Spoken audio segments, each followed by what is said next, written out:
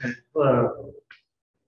Um, so I guess I should ask first, are there questions about the assignment, things I didn't get to last time or? Something like that. Okay. Um, so I'm just gonna start on all the stuff that I should have talked about last time I didn't get to.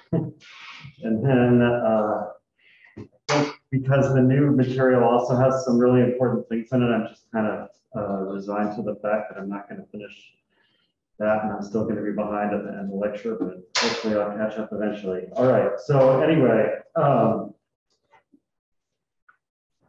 um, so to start with this, um,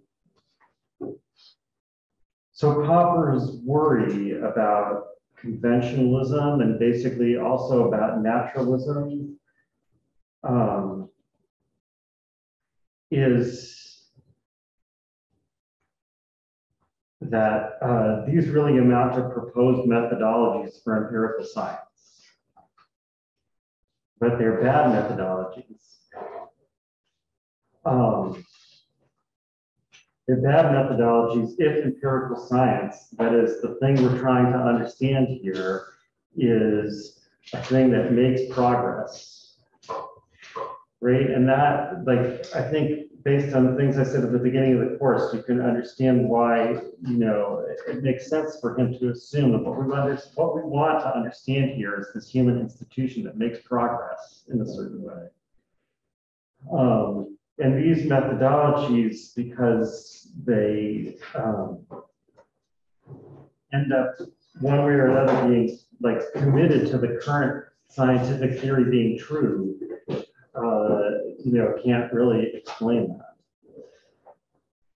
Um, so, right as he says, this is in chapter two, section nine on page 28. Um, um,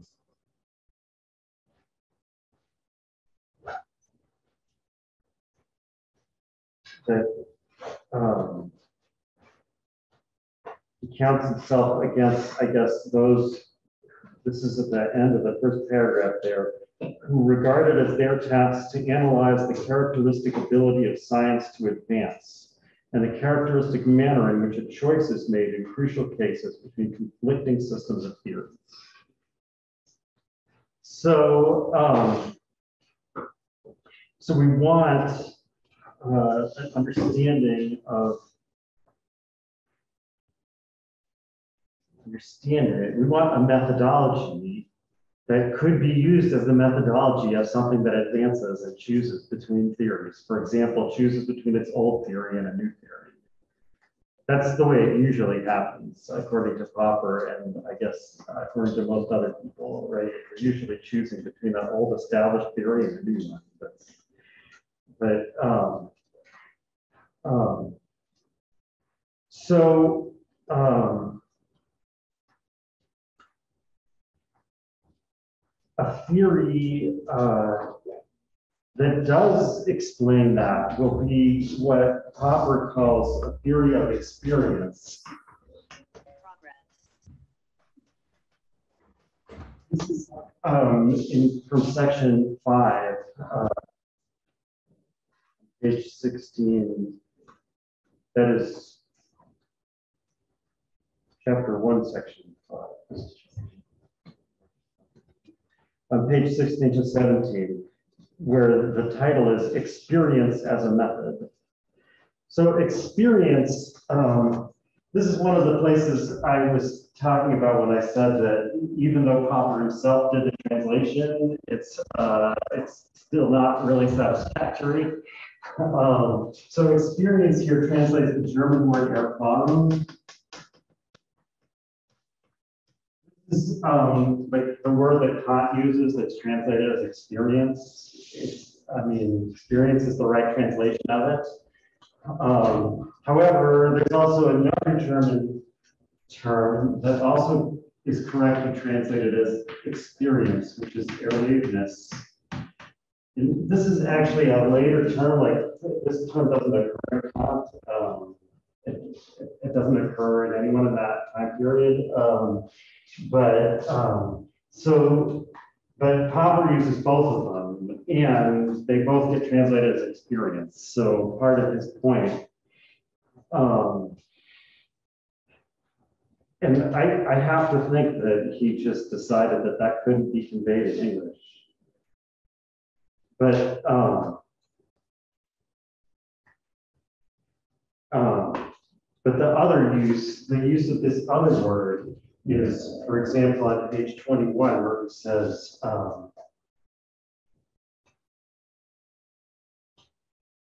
talking about problems of the empirical basis.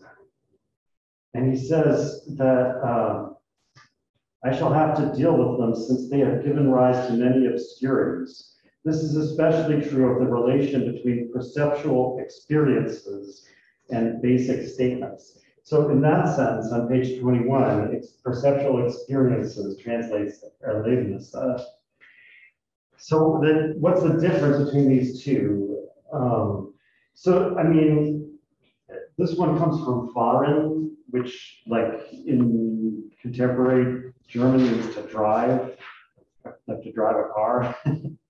right, like Fahrvergnügen used to be, I don't know if they still use that as a slogan, but Volkswagen used to use that as a slogan, right? Which means like enjoyment of driving.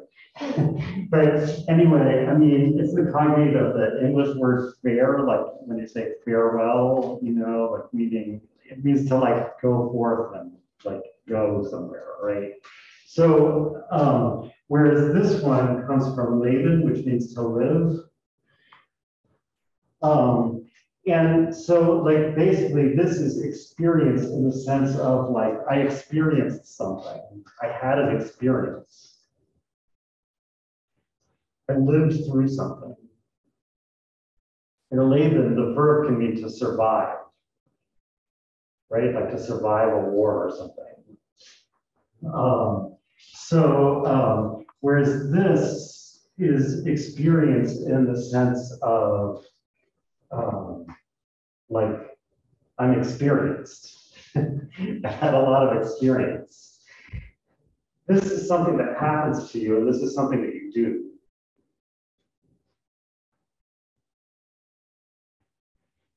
So, um, so when in section five, he says that a theory, a methodology of empirical science will be a, will be a theory of experience, it means experience in the sense of like an active um, project of learning from the world, something we go out and do to learn from the world. Whereas when he says perceptual experiences in section, section seven, he's talking about things that happen to us right? We experience certain sensations because of the way objects affect us. Things like that, right? So, um, um, and so like one point he's going to make later on is that these uh, experiences in this sense can't justify any statement. This is just something that happened. It doesn't have logical implications.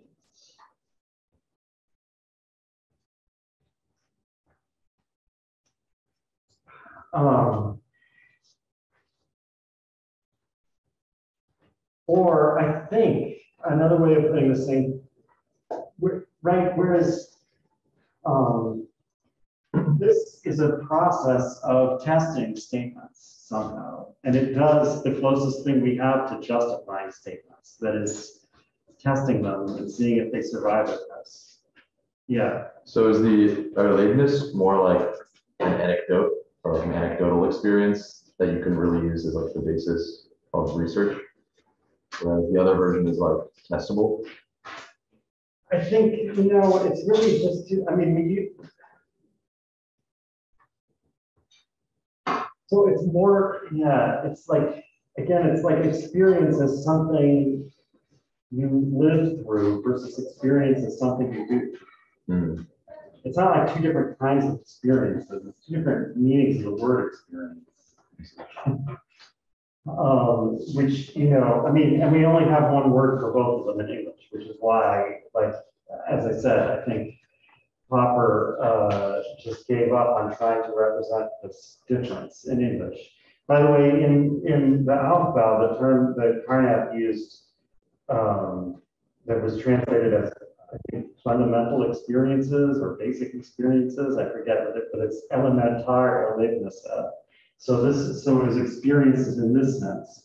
This, you know, so that, that's why, like, Carnap fits into the picture that Carnap, that Popper is going to draw of people who somehow think that what happens to me, that like the sensations that I personally have can justify some statements. Um, and, you know, by saying the theory of empirical science is a theory of experience in this sense, he's, he's basically taking Kant's side and saying that, like, um, no, like, objective reference to the world has to be active. It can't be passive. So, um, and like, so the, the reason I go into that, no, I don't know, maybe I'm just going into it partly because I like this, but which and you may say, well, we don't like it. But, uh, but no, but partly I'm going into it because, uh, because it does show that, I mean, look, with this book, not only are we back in the thirties, but we're back in Germany, right? Like at some point, Popper says, uh, I didn't write down where this was, but it says from Hume via Kant to Russell and Whitehead. right? Like Kant, disappeared from Quine's history of epistemology, is back in the middle. so, and, and I mean, I think this applies to Carnap and Popper. They just understand Kant differently, right? But the, but, but this, this discussion of experience and this understanding of, of what it means and how it's different from this, even though, like I said, Kant himself doesn't use this term, but he talks about the passivity of sense, and whatever. So that um, this is uh, constitutes Popper's uh, interpretation of Kant, attempt to fit into some kind of Kantian tradition.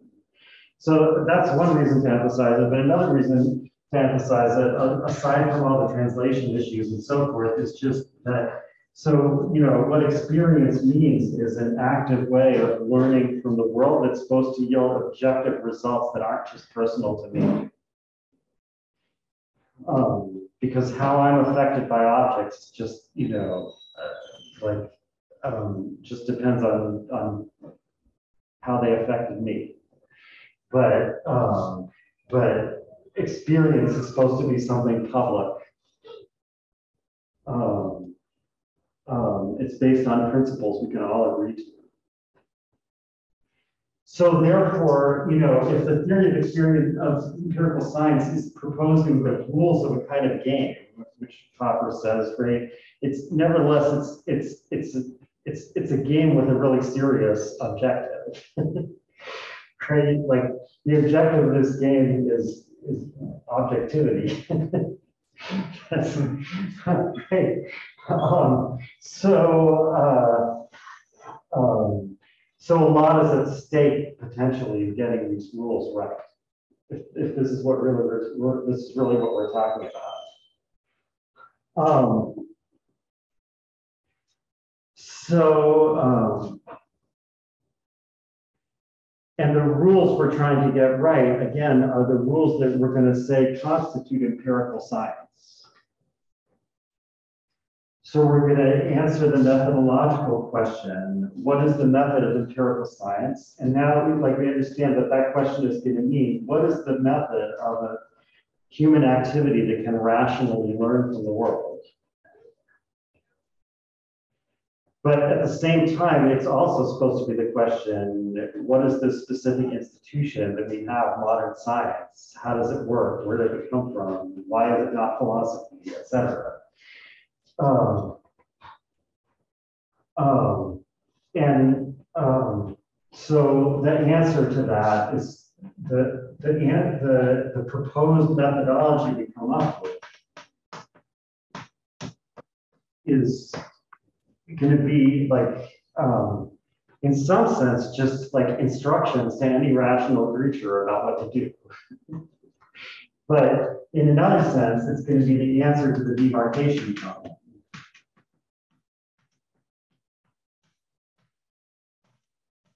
The demarcation problem being like, okay, which of the things we do are empirical science and which are not? And I get, I mean, I don't know. I feel like I could have ordered this in a clearer way, but so, so, so it's like saying that the answer to this question is, is serious because the, the, the problem we're setting here is serious. It's like saying, um,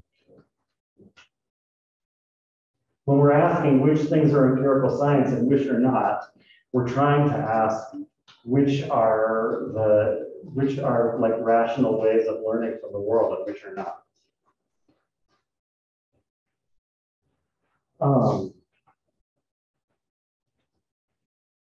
so um, I think I talked about this a little bit last time, but before I go into the details of the, I mean, I, so, well, okay, before I go into the details of the answer to the question, I'm just gonna say briefly what the demarcation is supposed to be between. And so like what, what things Popper thinks will end up inside the, the line of demarcation right? So definitely in here goes science, meaning I know someone asked last time about what about social science or whatever. Well, like it's certainly at least physical science. And probably, I guess you could tell from his examples, probably life science also, right? Social science, I think, is less clear, but I think I think he thinks so. Like, um, so first of all, the, for, for Carnap and the Aufbau, the answer was definitely social science. And not only social science, but art criticism and, right? Remember, like everything, there was it all meaningful was supposed to, to fit into the constructional system. Um, so Popper is already, I think, more a lot more restricted you know, like social science, let alone art criticism, are going to be at best borderline cases. I mean, he may say something like, uh, and we'll see uh, Kuhn also using this terminology, talking about mature sciences. So that implies that other things are that are kind of like science are immature, like, but that in the future they might become mature sciences. That's the way a lot of these people think about social science for example. Um, but okay, so leaving that aside, what else goes in here? Well, so this is important, I think, that um, Popper, for Popper, engineering definitely goes inside this circle. And the reason it's important, I think, to emphasize that is because we'll see that Kuhn is also, in effect, trying to, to answer the demarcation problem. But for Kuhn, engineering goes outside the circle. right? Like one of the things Kuhn was going to say is that like um, when a scientific problem becomes uh, too easy to solve and we're only solving it because of some use we have for the answer, scientists are no longer interested in it. They'll say, oh, that's, that's engineering. Whereas for Popper, you know, people who are trying to get things to work in the world are, are clearly an example of this same kind of experience that he's talking about. Um, so those are the things that go inside the circle. And then outside the circle goes, well, first of all, we know methodology which is what Popper himself is doing in the book. So, I mean, and this is important, right? Because Popper definitely thinks what he's doing is rational and meaningful. He doesn't think it's irrational or not, let alone that it's nonsense. But it's not a rational way of learning from the world, it's something else.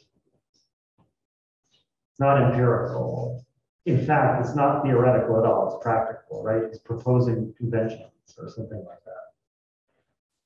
Um, so, um, and that also, I mean, Popper emphasizes that a lot in his starred notes and whatever, that, that the myth that this demarcation problem was supposed to be a line between meaningless and meaningful. That, you know, that, that people falsely attributed to him the same project that people like Carnap are involved in. Said, oh, he's trying to draw a line between science and everything else. He must think everything else is meaningless. And that would mean that statements that are not falsifiable are meaningless. But Popper says, no, I never said that. It's, this, this is meaningful and this is meaningful, only this is science and this isn't. Or this is empirical science and this isn't. Right, and it, like, again, so you can tell from the fact that he includes himself in what he's doing here, and that he explicitly distances himself from people who say, oh, you have to throw away, throw away the ladder, right, like Wittgenstein. That, that, no, he doesn't think that the stuff out here is meaningless, and he doesn't think it's irrational, and he doesn't think it's bad, because he's doing it himself. Right, but nevertheless, he thinks this is really important. Um, so another thing that goes out here is logic and mathematics. So like the Vienna circle people in general, Popper thinks that Russell has shown that mathematics is part of logic. Frege and Russell have shown that. So afterwards, a lot of problems were raised for that, but, um, but Popper is taking that for granted. I don't know if he ever reconsidered that later. Question. Um, I guess also, like, he doesn't say anything about this. I, I mean, I guess also things like um, ethics and politics go out here because they're practical. I, I, I'm not, I mean, it's still important, and this is what he says in his political writings, it's still important that they be open to criticism in certain ways, but they're not exactly open to testing the way a scientific theory is. But anyway, um, something that definitely goes out here again is metaphysics. But Popper, um, but for Popper, metaphysics is not always something bad. So not only is it not meaningless, but at least I think um, this changes a little bit between the time when he wrote the book and the later time when he wrote the start footnotes. So when he wrote the book, at the time he wrote the book, he, he sometimes seems to use metaphysics in a derogatory way. Even though it's not completely consistent with what, you know, his official position on it. I think later he became more adamant that there's nothing bad about metaphysics per se. So, so what is metaphysics? Metaphysics is like theoretical statements about the world that are, you know, not falsifiable, not empirical. So Popper says, you know, I mean, it's true that, um, um, but but and importantly, they don't pretend to be. Right, I, I mean, I think this is something, even though they disagree about what goes in this spot, that, that Carnap and Popper actually agree about. The problem is not things that are not science in general. It's things that are not science but pretend to be science. Right, so for Carnap, that's metaphysics, because metaphysics is, it pretends to have a theoretical content, but it doesn't. For Popper, that's metaphysics is not that because he thinks it does have a theoretical content, it's just not empirical. So, um, and he says, you know, metaphysics, although metaphysical doctrines have sometimes interfered with the progress of science, other times they've really helped. And he mentions it like metaphysical atomist views as having like helped science progress at a certain point. Um, so, um, right, I mean, like the statement, you know, there are part of, there are bodies that are so small that they're not divisible, it's not falsifiable.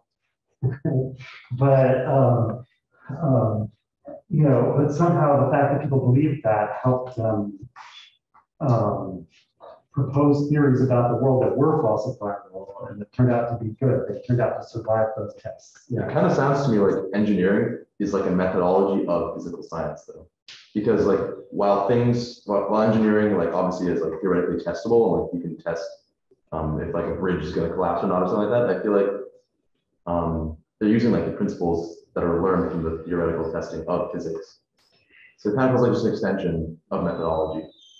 Well, I mean, yeah, he says these have the same methodology, Uh, right? So, you know, he says an engineer trying to figure out what's wrong with the air conditioning system is using scientific methodology. Right, so, I mean, you know, is that like. Kuhn is right that there's big differences between scientists and engineers, you know, and they don't necessarily get along with each other that well. And, uh, uh, you know, the, the scientists will say that engineers don't, you know, don't understand physics and they're not using right, and the physicists will, the engineers will say that the physicists are, uh, like just talking about useless theoretical issues that, that will never come up in real life and that they know how to really solve. They're, they're both inside this line. He's not interested in that. Um, but yeah, right, whereas metaphysics, so, you know, and, and some Popper actually says, you know, some metaphysical beliefs may even be essential to science. And I think later on, he took that position more strongly. And he's right, like he took the position that you should, you know, that scientists have to believe that there is a true theory of the world, and that there's a way that the world actually is. Um, even though um, we'll never know that we have that theory. Right, all we'll know is that our, that we haven't ruled out that we have that theory, because the theory we have hasn't been falsified. But still, he thinks it's, it's, it's essential for, for scientists to believe something like that, and then, you know, but it's obviously, it's rational for other reasons, they haven't learned it empirically. Um, I mean, it's, it's basically, it's related to Kant's doctrine of rational faith, and I, and I think Popper, uh, is aware that it's related to that. Um, so anyway, um, but then the last thing that goes outside is pseudoscience. And I know I mentioned this before. This is the thing that Popper does think is bad. Not meaningless still, but bad, right? We, we shouldn't have it. And again, it's something that somehow like pretends to be empirical science, but, um, but has actually in one way or another defended itself against falsification. So it's irrational. It's an irrational way of from the world. so to speak. Um, Professor, yeah, um, the the video video is is frozen. frozen on Zoom. Yeah. I don't know why that happens. But on we go. Okay, um.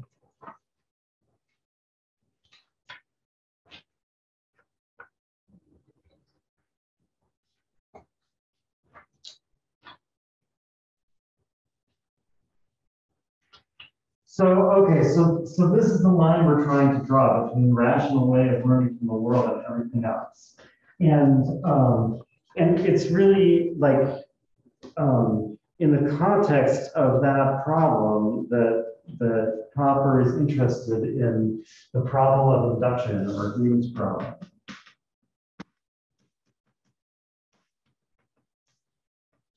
Problem of induction, which he also calls Green's problem.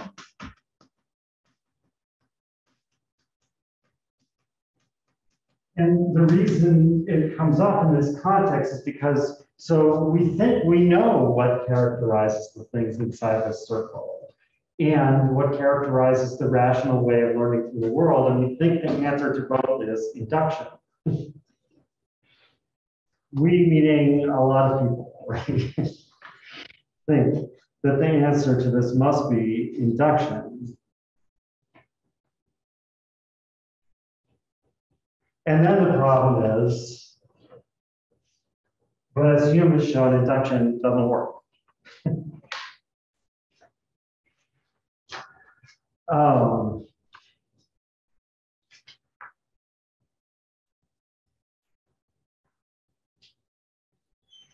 So then we get this question, if we, if we admit that Hume is right and induction doesn't work, then we get the question, this is raised by um, Reichenbach, So Reichenbach was another associate of the Vienna Circle. He also was one of uh, Putnam's main teachers. He's quoted at the bottom of page four here. To eliminate it from, that is, this principle, that is the principle of induction, determines the truth of scientific theories. To eliminate it from science would mean nothing less than to deprive science of the power to decide the truth or falsity of its theories. Without it, clearly, science would no longer have the right to distinguish its theories from the fanciful and arbitrary creations of the poet's mind. right? So what Reichenbach is saying there is we don't know any way of demarcating science from other things other than the principle of induction, that scientists follow the principle of induction. Um, so we must find some way to justify the principle of induction. And of course, Popper coming back and saying, no, Hume is right. There is no principle of induction. Induction doesn't work. Is going that that's so in other words, Hume's problem, or like giving up on Hume's problem, as I guess Popper thinks Hume gave up on Hume's problem, giving up on Hume's problem lands you with what Popper calls Kant's problem, that is the demarcation problem. Because now, before, I mean, I guess you had it anyway, but you didn't worry about it because you thought everyone knew the answer to the, to the demarcation problem. But now you realize that Hume's problem is insoluble, and therefore induction can't be the answer, you're faced with, with what he calls Kant's problem. Do I even agree that this is, why does he think that's Kant's main problem? Well, I don't know. Anyway, this is not a course about Kant, believe it or not. Even though I keep talking about Kant. So, um, uh, right. So that, you know, that, that makes Kant's problem, the problem of demarcation, urgent. So, um, so why, um, why does Popper think that Hume's problem is insoluble?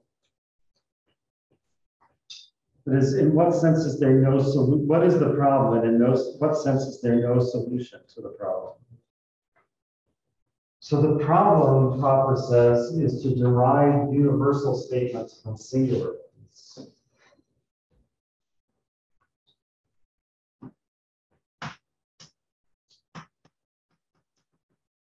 Problem deduction is to derive universal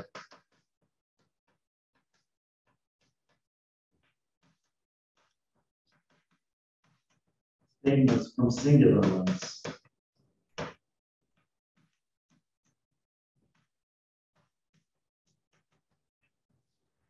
So, um,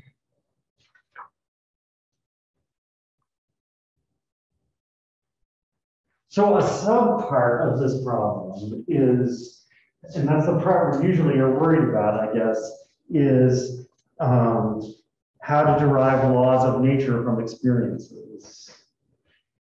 Right? Because um, Popper says a law of nature is always a universal statement. So, you know, a law of nature in general takes a form like this. For all, for all x, and you know, Popper says x should be thought of as like a spatiotemporal location.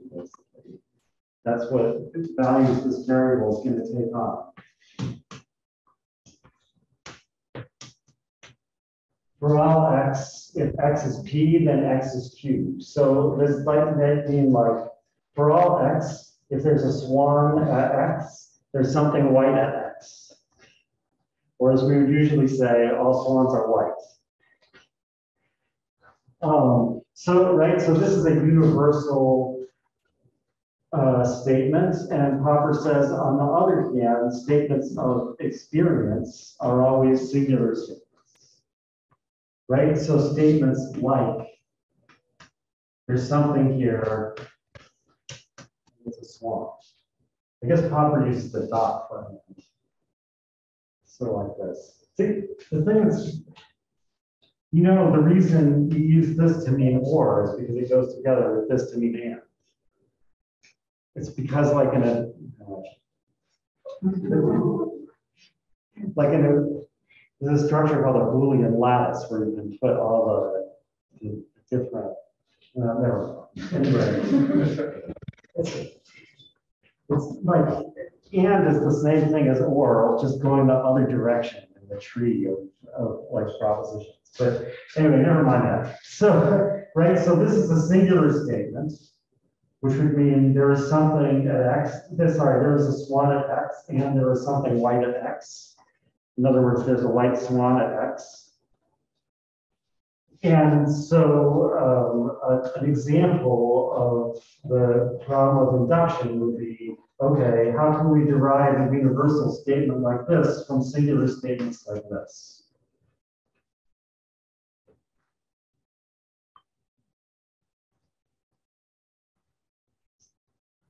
So, um, so the first thing is that logically speaking, no finite list of singular statements like this can ever imply an empirical, uh, universal statement like this. I mean, um,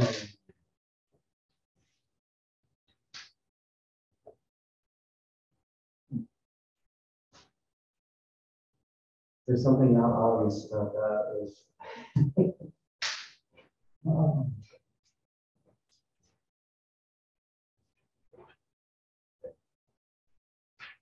So I guess like, um, so that is, uh, at least a semantic way of thinking about logic.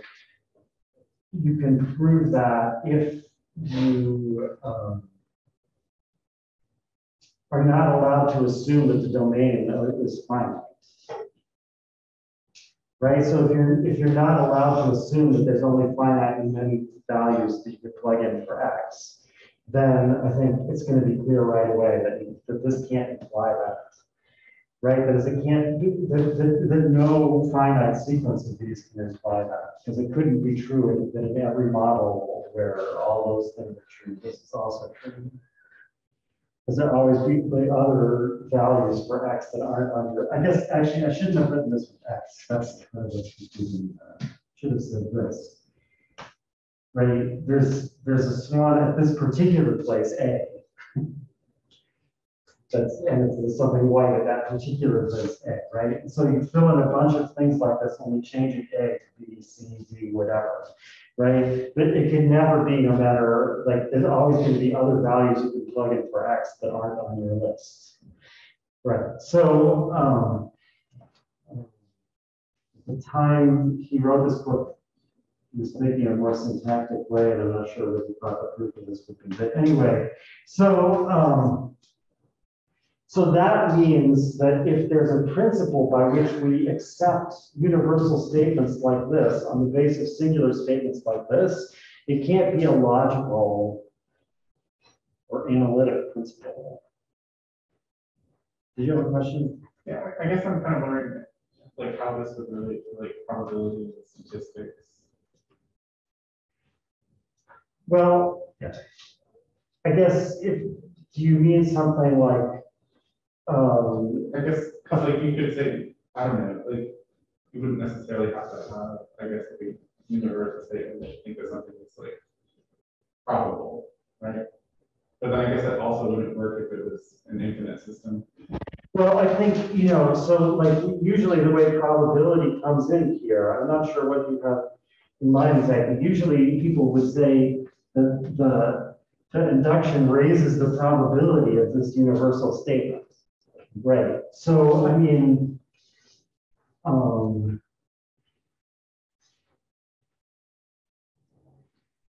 uh, so Popper, so first of all, Popper points out that in Carnap's book the um, fundamentals of probability, he actually ends up concluding that the probability of all universal statements is zero. So, Which, and then somehow tries to deal with that result. But, um, but assuming that, that there's a way to avoid that, you know, um, but, uh, Popper will still say, well, you need some principle that, you know, um, that justifies you including from this to the probability statement. And that's gonna run into the same problem, that you won't be able to justify that principle. Yeah, So then the issue would lie in attempting to be, to make a universal statement and that we should just refer to specific statements and like. If there's something that we would consider like a universal principle, we would just say that it applies to all specific situations rather than saying it's just a law of nature. I, well, so, so, I mean, that's what, um, um, that's what Popper thinks positivists are pushed into saying. And he, and, and he says that in effect, that's what Carnap ends up saying at the end of that book on probabilities. That when we say something like this, we're really, it's really just like a convenient shorthand for, for a bunch of finite statements. So, I mean, like, the problem with that is that, um, those universe, you know, so-called universals that are really equivalent to a bunch of finite statements are like not testable everywhere and always, but only at those specific points. Oh, so he thinks we should, we should, that's a bad proposal. You can propose to use these statements that way, but he thinks you should. Because we need the fact, what, the, the reason we use these universal statements in science is, is, is precisely because they always go beyond our evidence and thereby expose us to risk. So if you make a proposal to understand them in such a way that they never go beyond our evidence, then, uh, um, uh, you're saying things that can't be falsified, and there, and therefore you're never, you're not doing empirical science anymore. So, um, right, so, um, so anyway, so it says the principle of induction can't be a logical principle. The principle that allows us to get from these singular statements, the universal statements, can't be a logical principle. So, um, well, could it be an empirical principle? So he says empirical principles uh, on this view are principles that are justified by induction. So you can't justify the principle of induction by induction.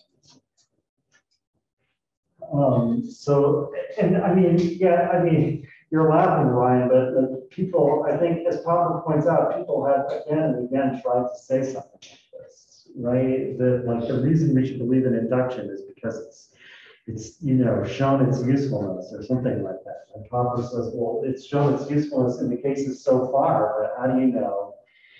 What makes you think it will show its usefulness in any other cases? so, um, so what else could it be if it's not um, logical? That is analytic, and it's not empirical, that is synthetic a posteriori in Kant's terminology. Well, so Popper says this is why Kant tried to establish that there's something called synthetic a priori principles, right? Meaning principles that go beyond formal logic. They don't just tell you like how to avoid contradicting yourself, but um, but we don't learn them from experience. We know them independently of experience. And, you know, like, again, whether that's a correct way of, of characterizing Kant or not is a little bit complicated, but, um, but that's, you know, I mean, it certainly makes sense in Popper's scheme anyway to put, to put Kant in that way. And all he says about that is that Kant's ingenious attempt to show this unfortunately failed. So he doesn't explain why it failed. He just takes it, you'll agree with him that that is not a way out. So if we cross off all three of those possibilities, it seems like there is no, there can't be a legitimate principle here. Um,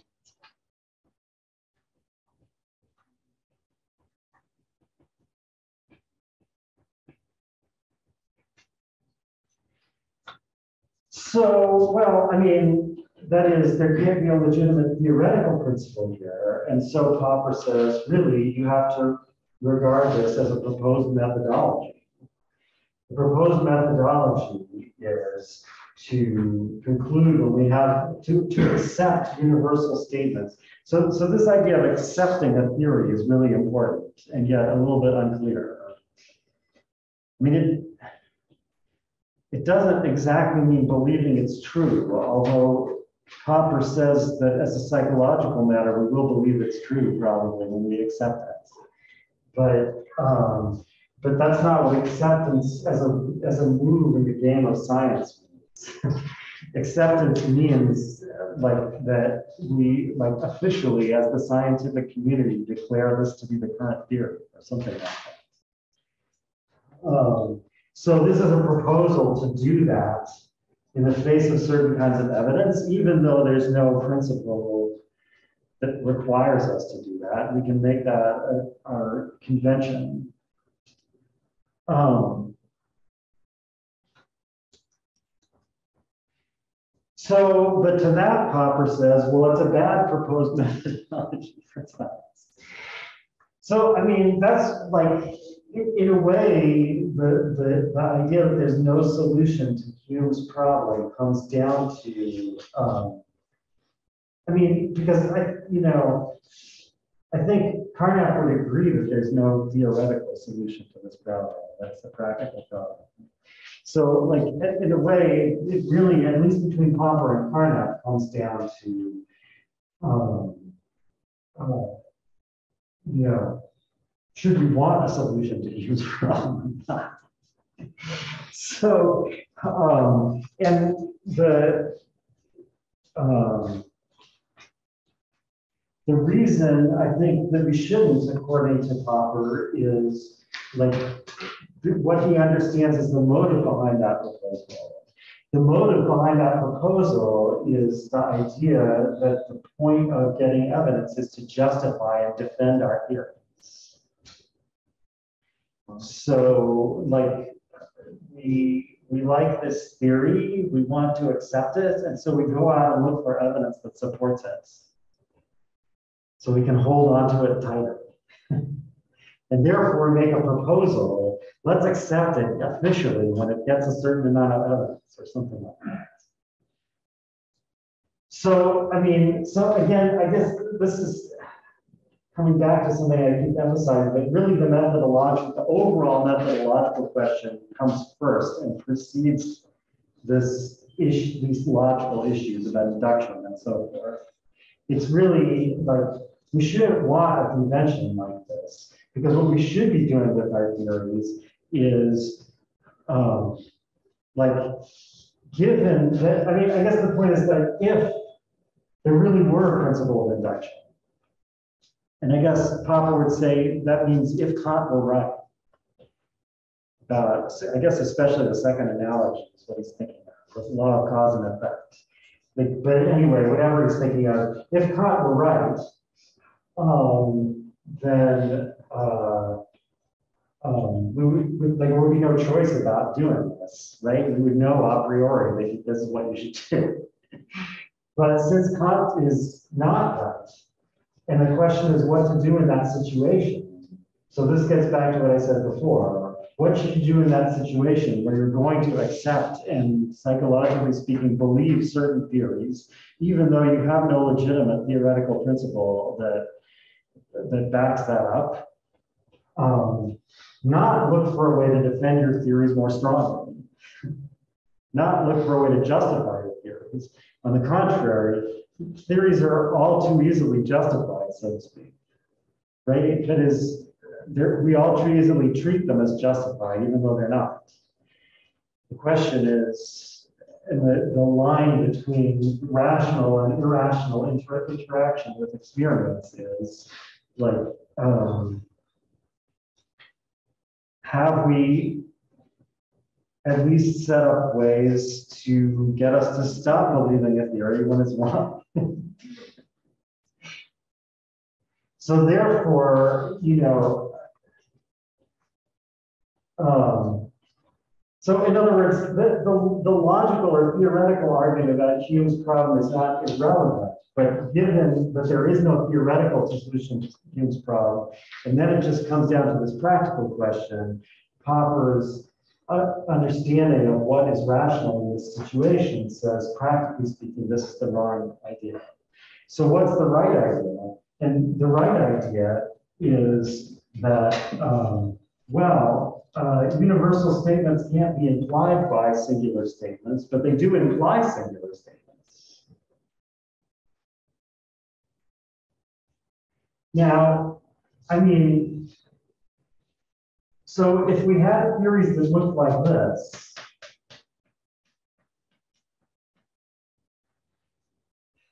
then the way they st- singular statements would be pretty obvious. Right? Like, if it's true that, that there is an A everywhere, or that everywhere is A, then just click someplace, say, you know, um, B, and, you know, this implies that. There's an A everywhere, therefore there's an A at B. But, um, um, obviously, there's a reason our theories don't look like this, rather look like this. Now, I mean, Popper doesn't go into the reason, and I'm not sure exactly how to, to, to go into the reason either, but, um, but, you know, I mean, I mean, what we actually, the theories we actually want to propose about the world are always theories of like what follows from what, what properties go together. If there really is a property that everything everywhere has, then that's uninteresting. There's no theory about that. I mean, you might even say that like, we wouldn't know that property.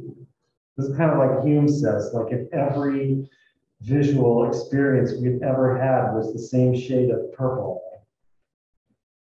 we wouldn't recognize that shade of purple as a property.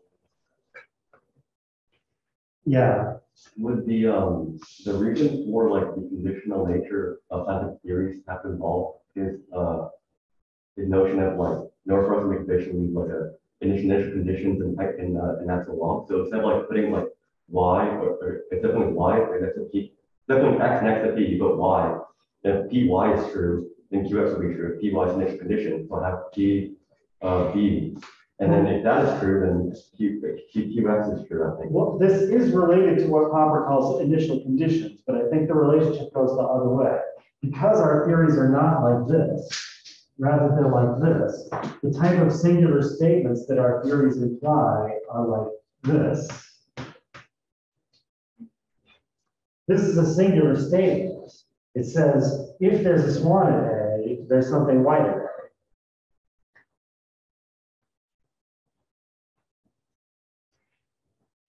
A. Well, the the, uh, initial condition for the swan being white, the swan being at A, B, but the swan, being- yeah, the swan being at, at that point, the, the, uh, the initial condition is the opposite. Right, yeah, so I mean, and before going on further in this, but I'm not gonna say a lot about this, but you know, I mean, so obviously we could define A to mean this, right? And then all of a sudden our theory would look like for all x, ax.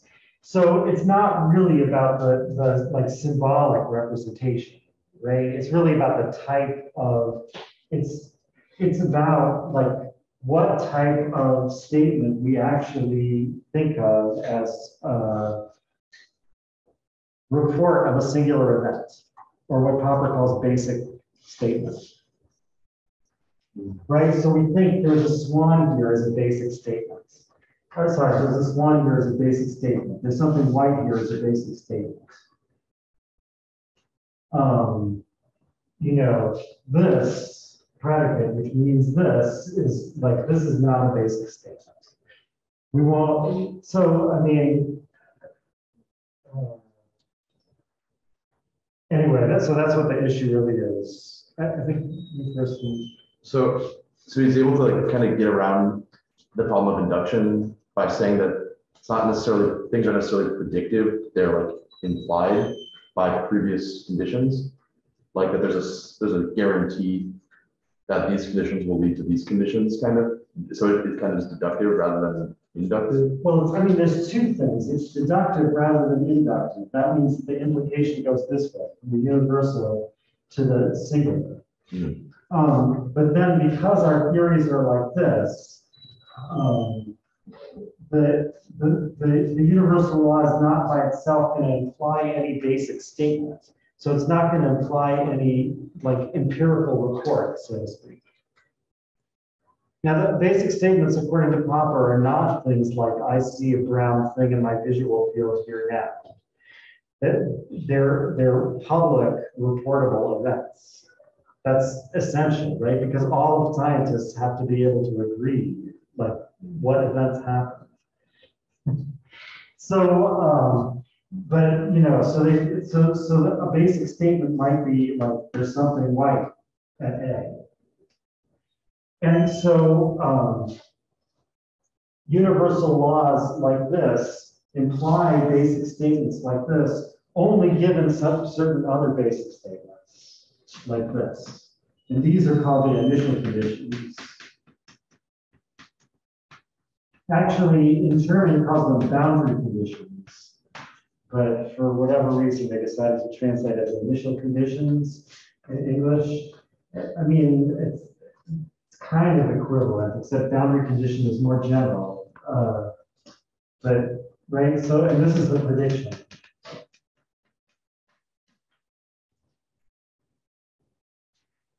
Um. And, um, because the theory implies this basic statement, given these initial conditions, um, it implies this, which is the same as, um,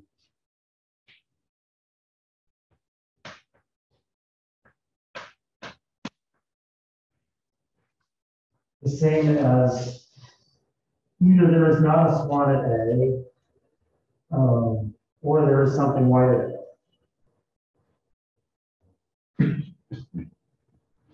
Right, that's, this is a general logical equivalence.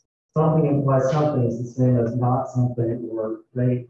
So, um, so that is, um, if there isn't something white at A, then there must not be a swan.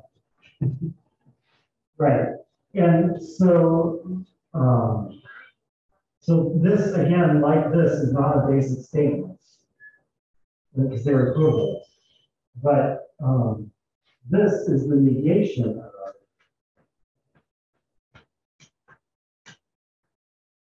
this. This is, this is called De Morgan's law, I guess. But, uh, I mean, but without getting into the, uh, uh, no, wait, sorry. uh, It's not true that there's a swan a day that's not white.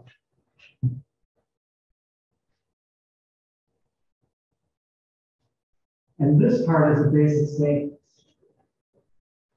Right? There's a non-white swan at. That's a possible um, empirical report. So I know this is probably confusing, but the reason I'm going, but I think it's more confusing if you don't realize this. So, so, so the situation is universal laws on their own don't imply any basic statements. But they do imply the negations of certain basic statements.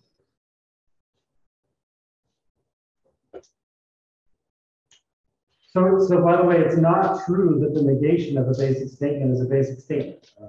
Right, from what I just said. Um, so like basic statement doesn't mean like, you know, statement that can be stated in terms of observational predicates or something like that. It means the kind of thing that can be used as a, as an empirical report by scientists. And, and Popper says ultimately it's a matter of convention, what we're gonna allow and what we're not. It's what the scientists are willing to allow as an observational report. But something like this is gonna be in. Zero. Right, someone tells me, I saw a swan at position A and it wasn't white. And I might not believe them, or, you know, might worry about whether they, it an illusion or whatever, but, but the content of what they're saying is a perfectly good observational report. Um, if they come and, and say, well, I saw something at A that was either not a swan or white, that doesn't really tell me. That's, it, right? Because all it tells me is if there was a swan at A, it was right. But they didn't tell me if there's a, whether there's a swan at A or not, so they didn't really tell me what was at A at all. Right, so, um, so because the, the universal law, um, even though it doesn't imply basic statements without initial conditions, does imply the negations of basic statements. There's an observational report you can make on its own that will falsify the theory.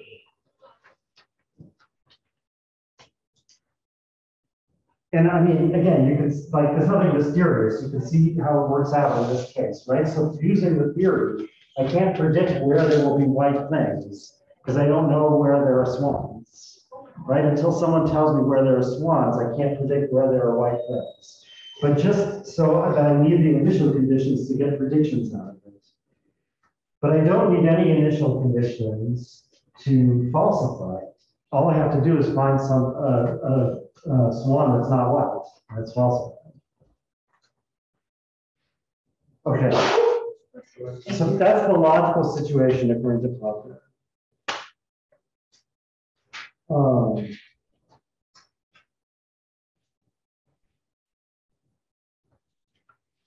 So the overall um, um.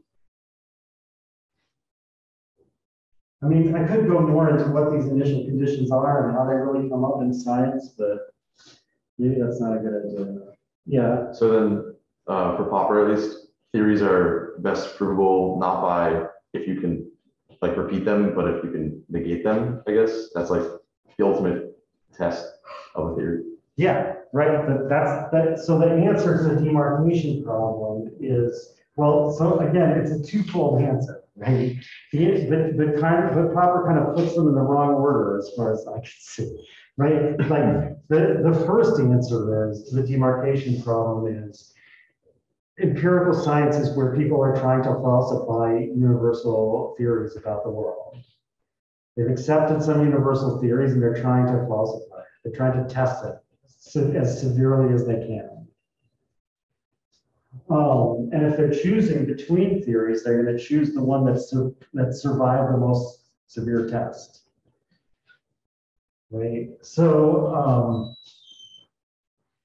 um, that's uh, like that's the overall position, but then what that requires a certain logical structure to your theory right? Is it has to have laws like this and, um, you know, this part and this part both have to, uh, at least, you know, he says you start off with very universal laws. What does very universal mean? I, mean, everything that's universal is universal, right? But by very universal, he means like very far away from the basic statements. So they, they have these very abstract predicates, right? But you, you can deduce lower and lower level laws, and eventually you have to be able to get to laws where both the initial condition and the prediction are possible basic statements. And then if you have a theory that has consequences like this at the lowest level, it's a theory that if you use your method, if you adopt the right methodology, will be falsifiable. So like the, the, the solution to the logical problem is about the, the logical structure of the theory is a, is a solution to like, what's the logical structure of a theory that's usable for the kind of methodology that I'm saying empirical science should have? Was there, did you have a question a long time ago that I haven't got to? You still have it? Uh, Yeah, but now it's kind of like this. Oh, I'm sorry, all right, Um. no, okay. Uh, I'm sorry, a lot, a lot of stuff going on here, looking at the chat. Yes, Oh, we're gonna talk about like, um, the notion of like individual names, like now or later. you know, uh, it depends how far I get today, it'll be now or later. I didn't ask the question anyway, or just wait. Yeah, why don't you wait till I get to it, because, uh, yeah, I mean, I actually, I did talk about it a little bit last time, but, um.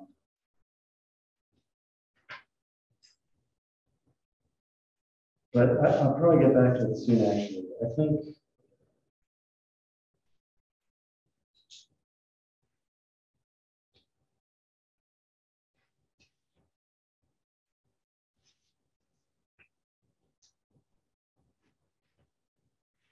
So, I mean, so, so by the way, you know, also it should be clear from this that, um, um, that, so, okay, I guess I should step back and say, so the overall proposed methodology is this. Um, we, um, wait to get an idea for a theory, knows from where. Right, that part is passive, that part is like an irrelateness.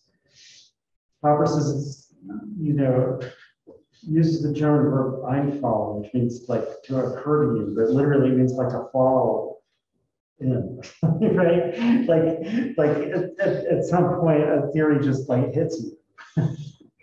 So, but when the theory hits you, you check to make sure it has the right logical structure. If not, it's not usable as a scientific theory. Yeah. And it seems like something like, um, um, John will get angry if you don't feed him. Okay. Uh, Then wouldn't that be also falsifiable in the sense that, yeah, if it, you, um, if you don't feed him, he- he's happy or something? Yeah, so, but it's only falsifiable if you know John. Right, So like you have to be there. This, this has, and this is also probably related to what you want to ask about, right? This has to do with the thing that I'm going to talk about soon, I hope, about the difference between strict universality and numerical universality, as he puts it. Or, I mean, in that case, it's not even numerical universality, right? It just, it, it just talks about John. So, um, um, so, uh, And I think to understand what he's saying about this, you have to always keep in mind that the, the methodological issue comes first, right? So like what we're looking for is theories that the whole community of scientists can like agree whether to accept or not. And can agree when they're falsified and, you know, when they should be given up in favor of another theory and so forth. So they have to be things that like, um, uh, if you do a test in your lab, I can try to replicate it in my lab. So if John is like, if you don't feed John, he'll get angry, is not like that, because I have John and you don't. Like John is in my lab and not in your lab. So, um, so, I mean, you can call it falsifiable if you want, but it's not the right kind of falsifiable theory. And so that's why he says what we always really want in science is, is strictly universal theories. Um, that also will turn out have implications for how we should understand these properties like Swan and White.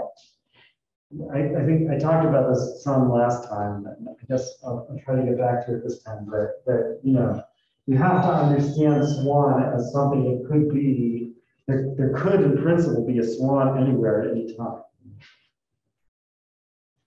if you understand swan as like a particular population of animals on Earth that are descended from some particular ancestor, then um, this wouldn't be a good scientific theory, according to. Um, which, I mean, before, like, you think that's so implausible, I guess you have to keep in mind what I'm about to say, which is that, of course, scientists say lots of things besides the universal theory, right? For example, they give observation reports. They, so Popper doesn't think that those are meaningless or useless or whatever, right? They're very important, but the theory has to have this form.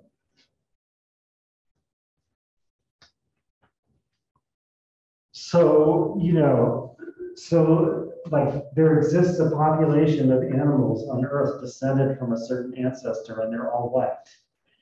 When that whole thing put together is like basically a huge basic statement from Popper's point of view. It could be used to, it could be predicted by a theory, it could be used to falsify a theory. But it's not itself a scientific theory. Um, okay.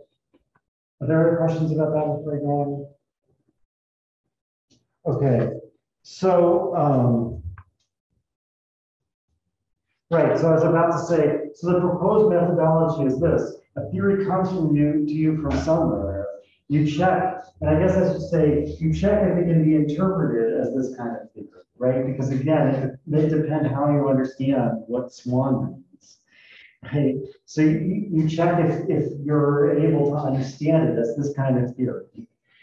And if so, you start trying to test it. And, um, you know, so if it becomes falsified, so we'll discuss later, like, so falsifiability is a matter of just having consequences like this. So it's enough if there's just one consequence like this. Although there never is just one, because if you have a theory that's strictly universal like this, if there's one consequence like that, there'll be lots of them. But anyway, it's like enough for there to be just one consequence like this. And this is like a possible basic statement. Right? We possibly could observe a non-white swan, and that's enough to make the theory falsifiable. Uh, but when it comes to actually falsifying Popper is going to say that just one report of one basic statement is not enough to, to make us count the theory as falsified. You're going to need, um, it- you know, something more than that, he'll try to explain. So, because, you know, there's always stray observations that seem to go against theories. But um, we don't really take them seriously unless they become replicable. It's basically the idea, right? So, um, so anyway, we have our theory, we try to falsify it, it becomes falsified, we don't accept it anymore. But we can also stop accepting it because we find a better theory. And the better theory could be um, a theory that has survived stricter tests than our theory, or it could be a theory that, in a sense, Popper is going to talk about later, is like more testable than our theory. Says something stronger and also passes all the same tests as our old theory.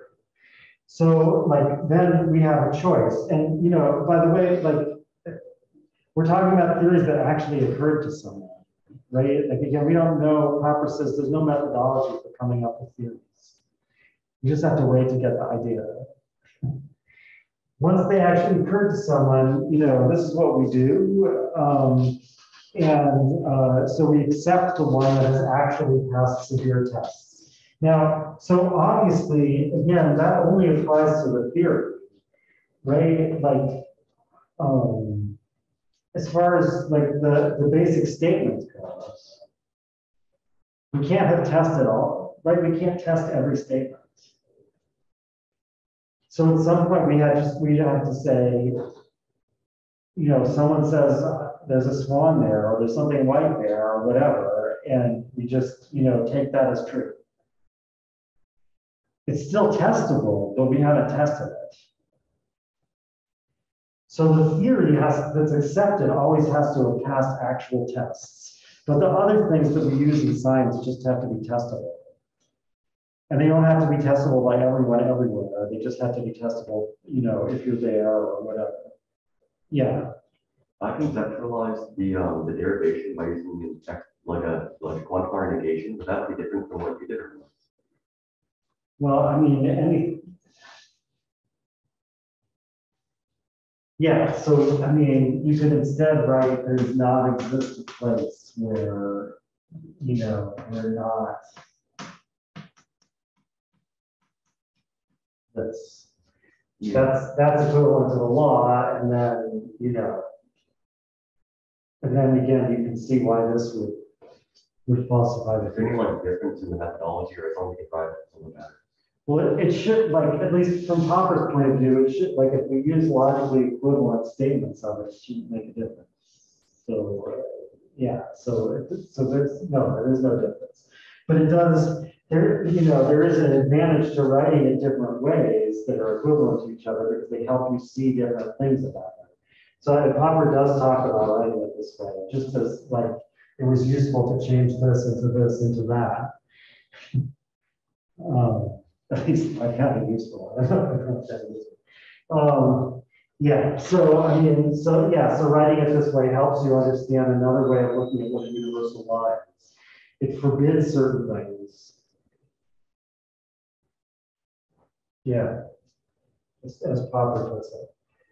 Universal law on, on its own doesn't, uh, without initial conditions, doesn't predict anything, but it forbids certain things. Um, Okay. uh, Get started on this. subject, yes. Um,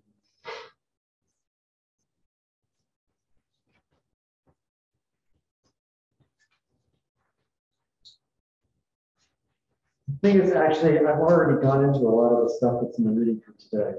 It's come up by the way, or an answer questions or whatever, so maybe things are not as bad as. think.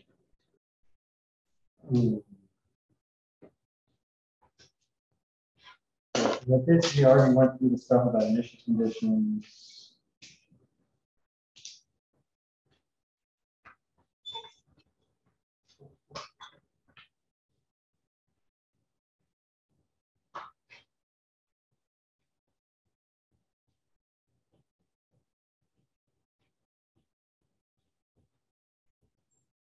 Right, so I think, um, yeah, so like, I think I've already said, you know, like, so a big part of the point of chapter three is just to say what I've already set out here, right? That it, what a scientific theory is, it's a statement of universal, it's a system of universal statements.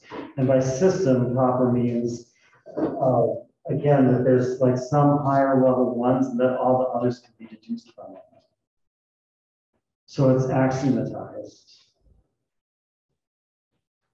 Um, and, you know, it has, therefore, it has both the parts that Carnap says an axiomatic system has.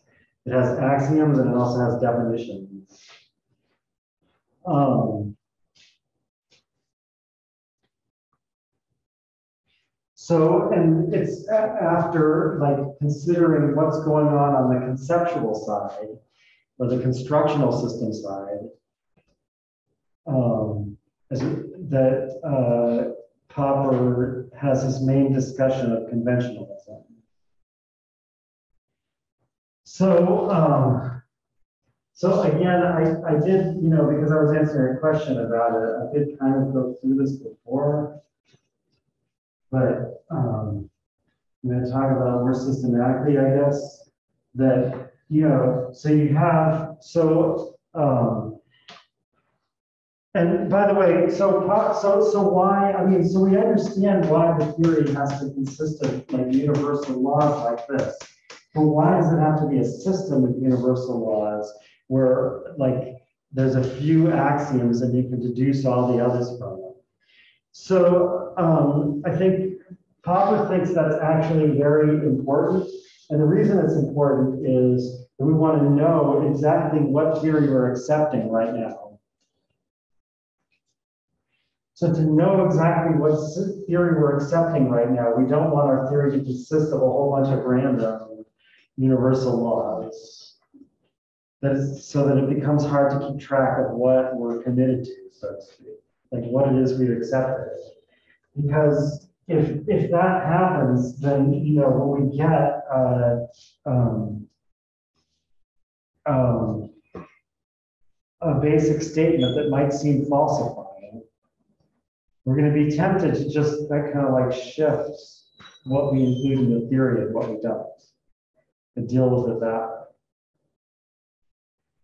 So, um, so, so I think Popper's idea that a scientific theory in principle should be completely systematic and axiomatized comes from the same methodological concerns that he has everywhere else. It's like, ideally, we want a theory that where it's really easy to tell what the consequences of the theory are. And that will be easiest if it's still actually not that necessarily that easy, right? Like, if you had an axiomatized version of quantum thermodynamics, you'd probably still have a hard time deriving even a single prediction from it. so, but, um, um, but in any case, leaving that aside, it's going to be easier, right? If we have a few simple axioms that, that everything that's a consequence of the theory somehow has to follow from those. So he says, like, in practice, we don't usually arrive at that, but we, but scientists strive towards that. Whether that's true or not is a description of what scientists do is, actually, this is something from Carnap, that in his intellectual autobiography, he mentions that, you know, when he was at Princeton, he was talking to some physicist there and they asked him what he was working on, and he, and he said he was working on axiomatizing general relativity, which was one of his one of his projects. And uh, the physicist said, "In physics, there are no accidents. and Carnap says this just shows to just serves to show the great distance and viewpoints that there are between different people, or something like that.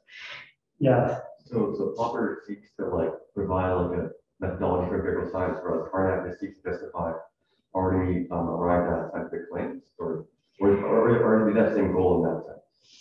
Well, I, I mean, Popper's version of Carnap is that Carnap will end up having to just, to just defend the existing scientific theories. You know, I mean, I don't think, that's certainly not, not what Carnap says that he wants to do. Um, So, uh, but yeah, so that's kind of like a Popper side description of the difference. Uh, um, But, uh, um,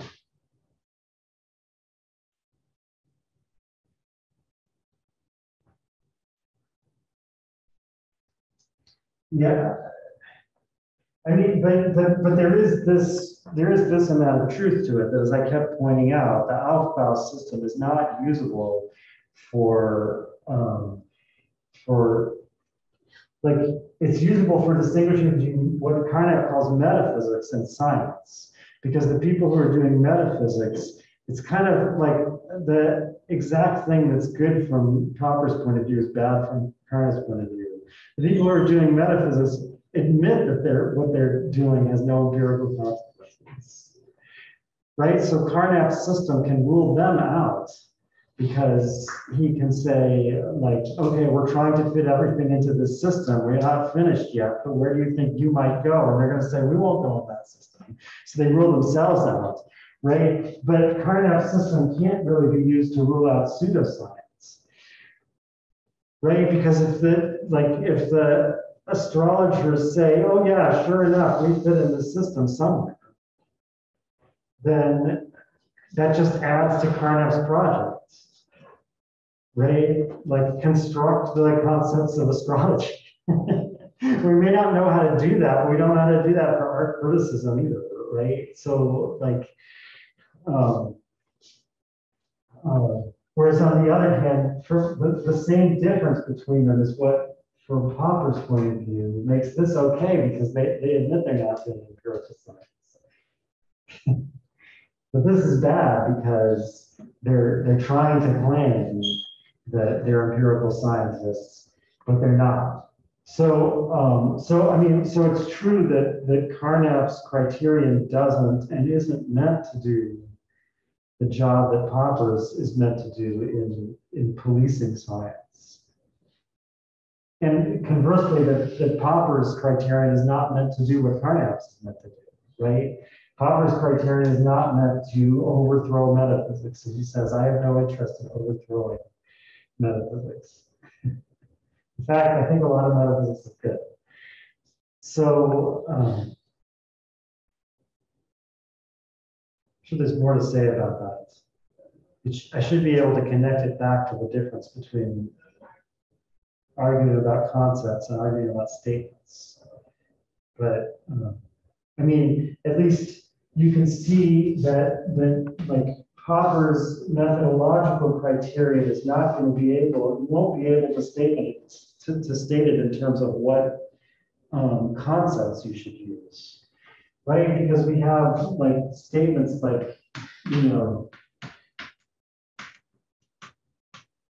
it is raining here, um, or it is not raining here.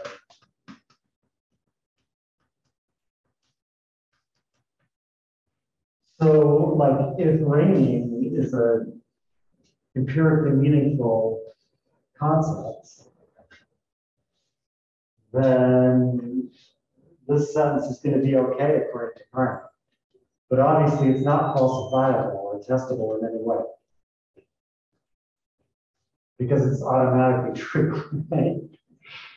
I mean, assuming raining is uh, like by it is not raining here, I mean, like.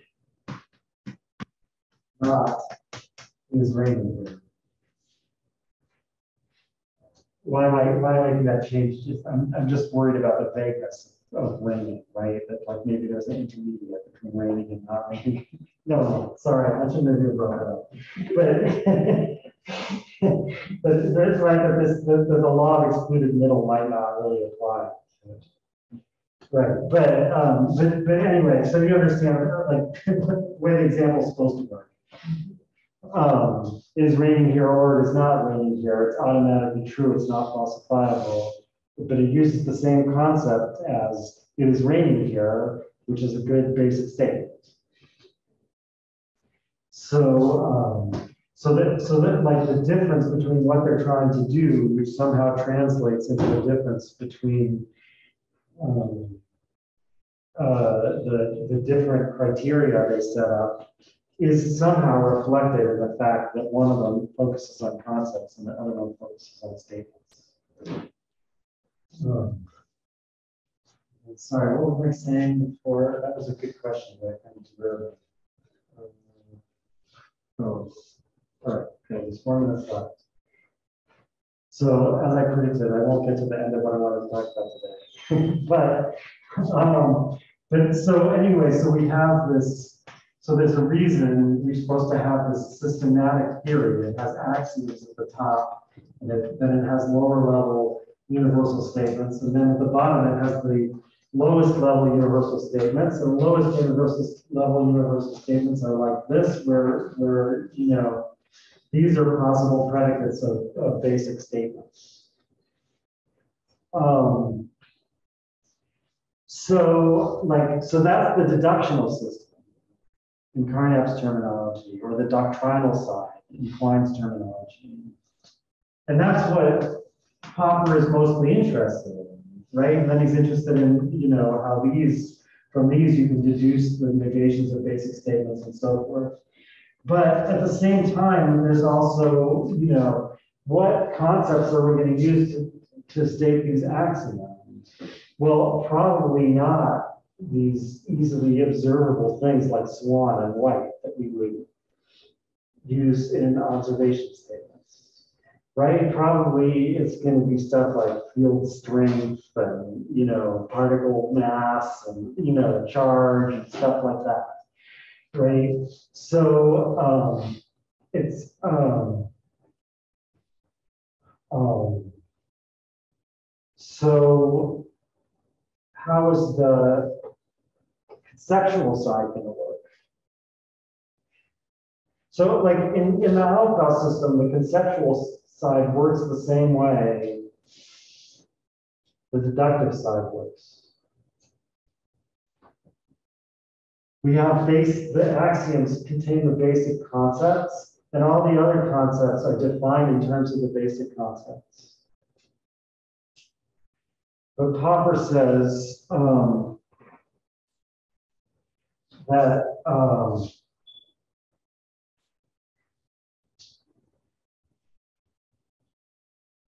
let me get into this. Um,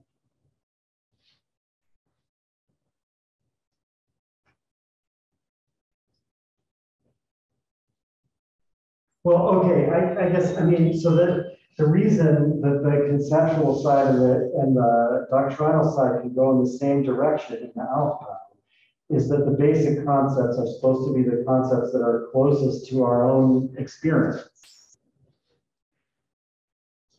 Um, and then the direction of the deductive system is going to be inductive right? Starting from specific statements of my experience up to higher level, you know, like statements about the world and generalizations and so forth. But since here, the direction, it's the opposite direction. We start with these really high level general statements about the world, and then we get down and eventually we want to get to statements that are close to experience. Um, these are the things that we, so to speak, like already most know what they need. Like swan and white.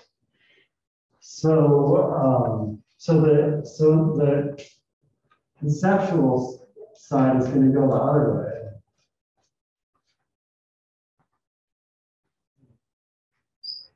That's the thought. So these, like most universal terms are going to have to be somehow defined in terms of less universal terms. Um,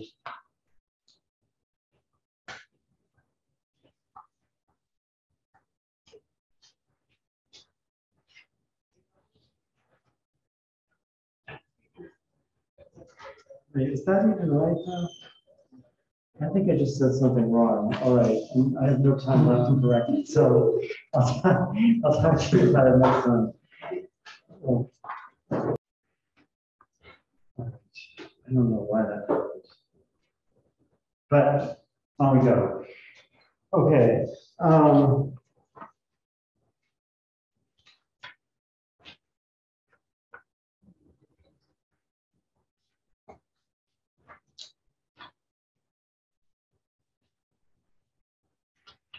So, okay, so, so this is the line we're trying to draw between rational way of learning from the world and everything else.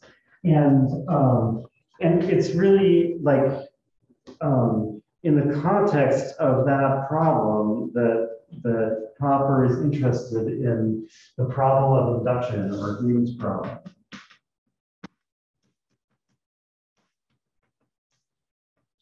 Problem of induction, which he also calls Hume's problem.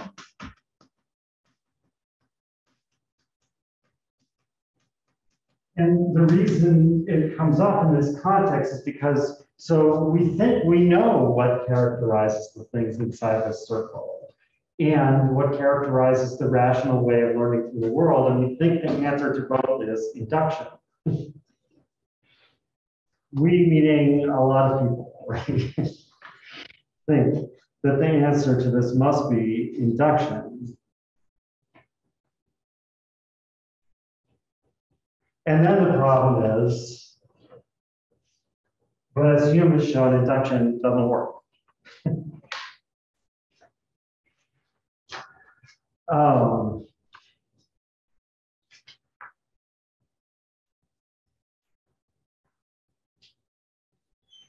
so then we get this question, if we, if we admit that Hume is right and induction doesn't work, then we get the question, this is raised by um, Reichenbach. So Reichenbach was another associate of the Vienna Circle. He also was one of uh, Hilary Putnam's main teachers. He's quoted at the bottom of page four here. To eliminate it from, that is this principle, that is the principle of induction, determines the truth of scientific theories. To eliminate it from science would mean nothing less than to deprive science of the power to decide the truth or falsity of its theories. Without it, clearly, science would no longer have the right to distinguish its theories from the fanciful and arbitrary creations of the poet's mind. right? So what Reichenbach is saying there is we don't know any way of demarcating science from other things other than the principle of induction, that scientists follow the principle of induction. Um, so we must find some way to justify the principle of induction.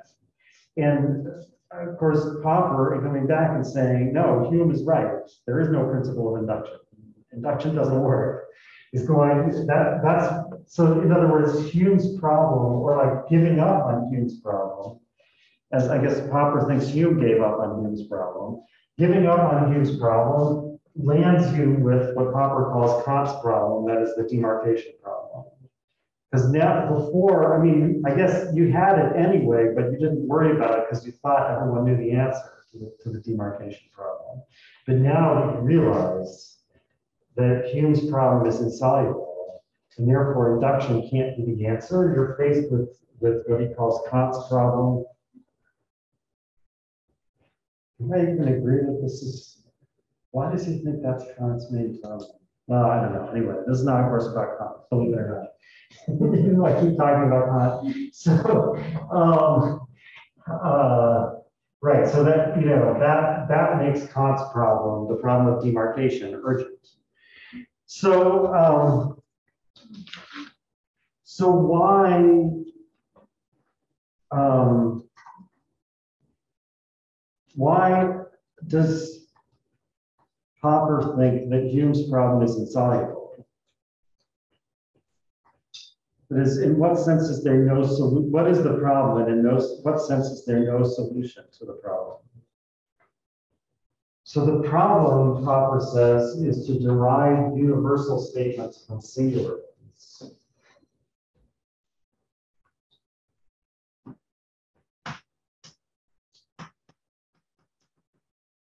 of is to derive universal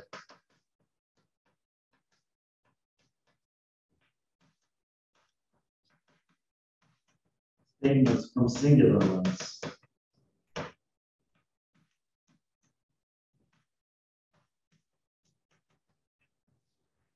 So, um,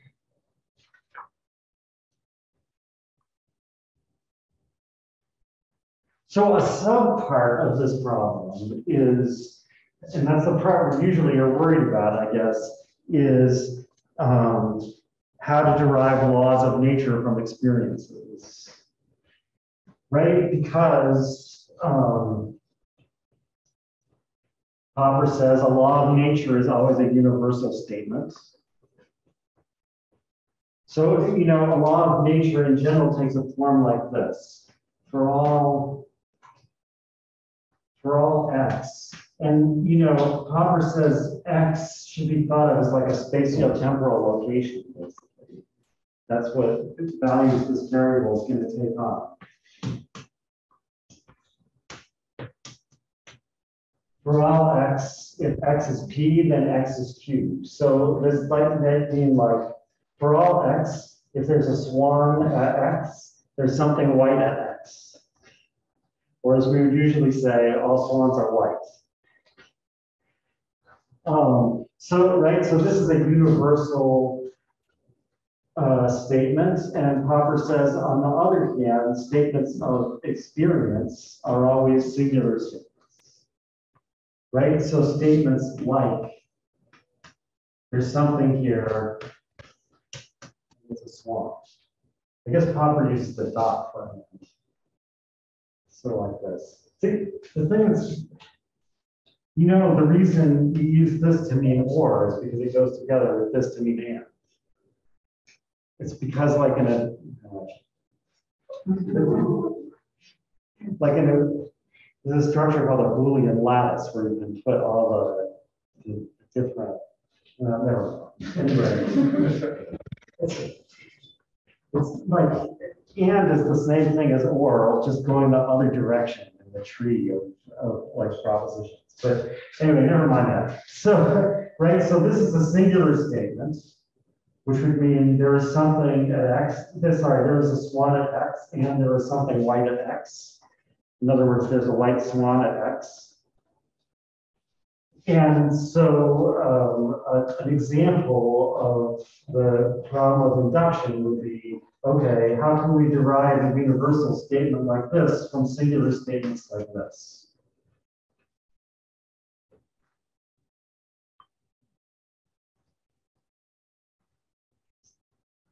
So, um, so the first thing is that logically speaking, no finite list of singular statements like this can ever imply an empirical, uh, universal statement like this.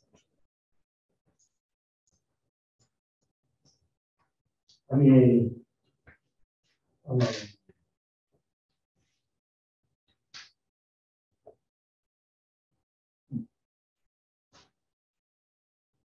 there's something not obvious about that is. Um,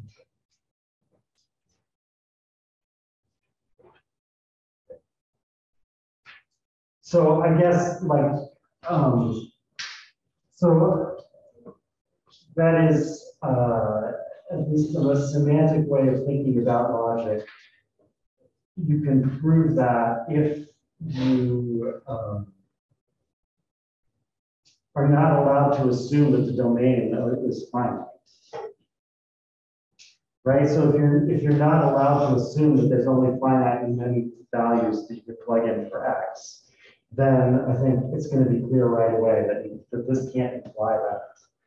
Right, because it can't, that, that no finite sequence of these can imply that, because it couldn't be true in, in every model where all those things are true, this is also true. Because there always be other values for X that aren't under, I guess, actually, I shouldn't have written this with X, that's kind of confusing. uh, Should have said this. Right, there's, there's a swan at this particular place, A.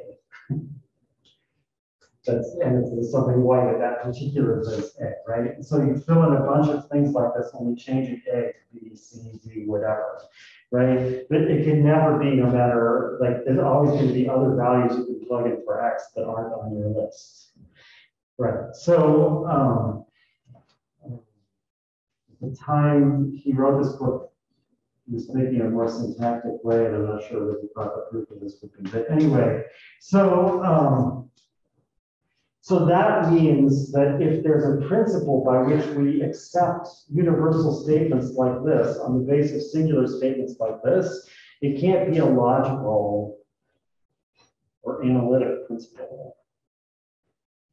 Did you have a question? Yeah, I I guess I'm kind of wondering, like, how this would relate to like probability and statistics.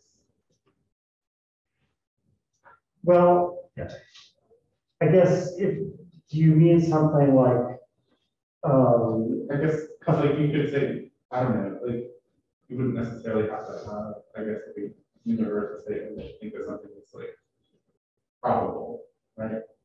But then I guess that also wouldn't work if it was an infinite system.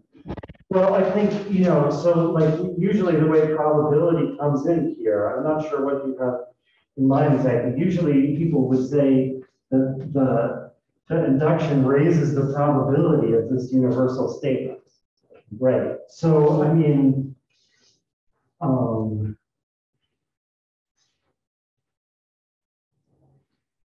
uh, so Popper, so first of all, Popper points out that in Carnap's book, um, the um, fundamentals of probability, he actually ends up concluding that the probability of all universal statements is zero. Um, Which, and then somehow tries to deal with that result. But, um, but assuming that, that there is a way to avoid that, you know, um, but, uh, Popper will still say, well, you need some principle that, you know, um, that justifies you in concluding from this to the probability statement. And that's gonna run into the same problem, that you won't be able to justify that principle. Yeah, So then the issue would lie in attempting to be, to make a universal statement and that we should just refer to specific statements and like, if there's something that we would consider like a universal principle, we would just say that it applies to all specific situations, rather than saying it's just a law of nature. I, Well, so, so, I mean, that's what, um, um, that's what Popper thinks positivists are pushed into saying. And he, and, and he says that in effect, that's what Carnap ends up saying at the end of that book on probability. That when we say something like this, we're really, it's really just like a convenient shorthand for, for a bunch of finite statements. So, I mean, like, the problem with that is that, um, those universe, you know, so-called universals that are really equivalent to a bunch of finite statements are like not testable everywhere and always, but only at those specific points. Oh, so he thinks we should, we should, that's a bad proposal. You can propose to use these statements that way, he thinks you shouldn't. Because we need the fact, what, the, the reason we use these universal statements in science is, is, is precisely because they always go beyond our evidence and thereby expose us to risk. So if you make a proposal to understand them in such a way that they never go beyond our evidence, then, uh, um, uh, you're saying things that can't be falsified, and there, and therefore you're never, you're not doing empirical science anymore.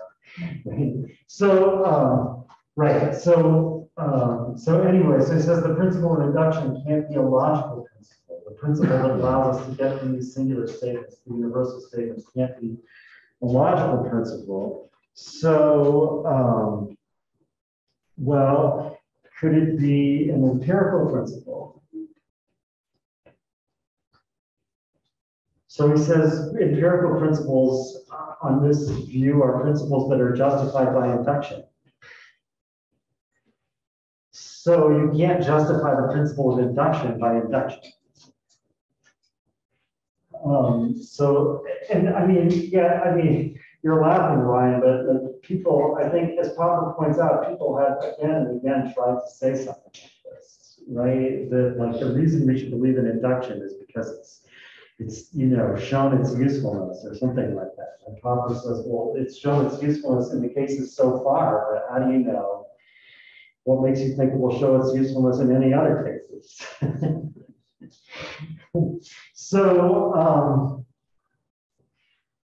so what else could it be if it's not, um, logical? That is analytic. And it's not empirical, that is synthetic a posteriori in Kant's terminology. Well, so Popper says this is why Kant tried to establish that there's something called synthetic a priori principles, right? Meaning principles that go beyond formal logic. They don't just tell you like how to avoid contradicting yourself. But um, but we don't learn them from experience. We know them independently of experience.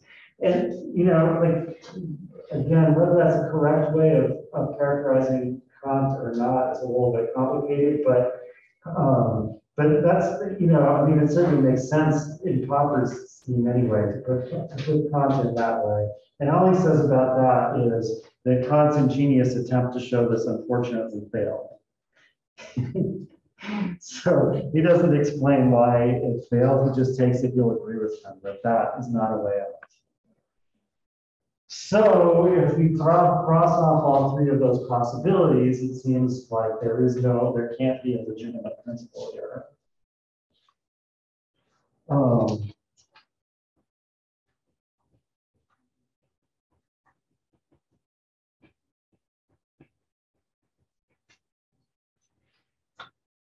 So, well, I mean, that is, there can't be a legitimate theoretical principle here. And so Popper says, really, you have to regard this as a proposed methodology. The proposed methodology is to conclude when we have, to, to accept universal statements. So, so this idea of accepting a theory is really important and yet a little bit unclear. I mean, it, it doesn't exactly mean believing it's true, although Popper says that as a psychological matter, we will believe it's true probably when we accept it. But, um, but that's not what acceptance as a, as a move in the game of science means.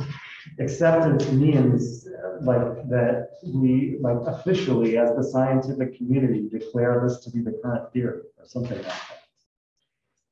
Um, so this is a proposal to do that in the face of certain kinds of evidence, even though there's no principle that requires us to do that. We can make that our convention. Um, so, but to that, Popper says, well, it's a bad proposed methodology for science. So, I mean, that's like, in, in a way, the, the, the idea that there's no solution to Hume's problem comes down to, um, I mean, because I, you know, I think Carnap would agree that there's no theoretical solution to this problem. That's a practical problem. So like, in in a way, it really, at least between Popper and Carnap, comes down to, um, uh, you know, should we want a solution to Hume's problem? So, um, and the, um, the reason I think that we shouldn't, according to Popper, is like what he understands is the motive behind that proposal. The motive behind that proposal is the idea that the point of getting evidence is to justify and defend our theories. So like we, we like this theory, we want to accept it, and so we go out and look for evidence that supports it. So we can hold on to it tighter. And therefore make a proposal, let's accept it officially when it gets a certain amount of evidence or something like that. So, I mean, so again, I guess this is coming back to something I keep emphasizing, but really the methodological, the overall methodological question comes first and precedes this issue, these logical issues about induction and so forth. It's really like, we shouldn't want a convention like this, because what we should be doing with our theories is, um, like, given that, I mean, I guess the point is that if there really were a principle of induction, and I guess Popper would say that means if Kant were right. About, I guess especially the second analogy is what he's thinking of, with law of cause and effect. Like, but anyway, whatever he's thinking of, if Kant were right, um, then, uh, um, we would, like, there would be no choice about doing this, right? We would know a priori that this is what you should do. But since Kant is not right, and the question is what to do in that situation. So this gets back to what I said before. What should you do in that situation where you're going to accept and psychologically speaking, believe certain theories, even though you have no legitimate theoretical principle that, that backs that up? Um, not look for a way to defend your theories more strongly. Not look for a way to justify your theories. On the contrary, theories are all too easily justified, so to speak. Right? That is, we all too easily treat them as justified, even though they're not. The question is, and the, the line between rational and irrational inter- interaction with experience is like, um, have we at least set up ways to get us to stop believing a theory when it's wrong? So therefore, you know, um, so in other words, the, the, the logical or theoretical argument about Hume's problem is not irrelevant. But given that there is no theoretical solution to Hume's problem, and then it just comes down to this practical question, Popper's understanding of what is rational in this situation says, practically speaking, this is the wrong idea. So what's the right idea? And the right idea is that, um, well, uh, universal statements can't be implied by singular statements, but they do imply singular statements.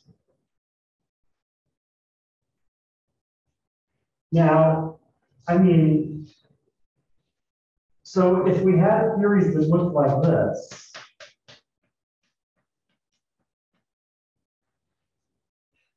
then the way they st- singular statements would be pretty obvious. Right? Like, if it's true that, that there is an A everywhere, or that everywhere is A, then just click someplace, say, you know, um, B, and, you know, this implies that. There's an A everywhere, therefore there's an A at B. But, um, um, obviously, there's a reason our theories don't look like this, rather look like this. Now, I mean, Popper doesn't go into the reason, and I'm not sure exactly how to, to, to go into the reason either, but, um, but, you know, I mean, I mean, what we actually, the theories we actually want to propose about the world are always theories of like what follows from what, what properties go together. If there really is a property that everything everywhere has, then that's uninteresting. There's no theory about that.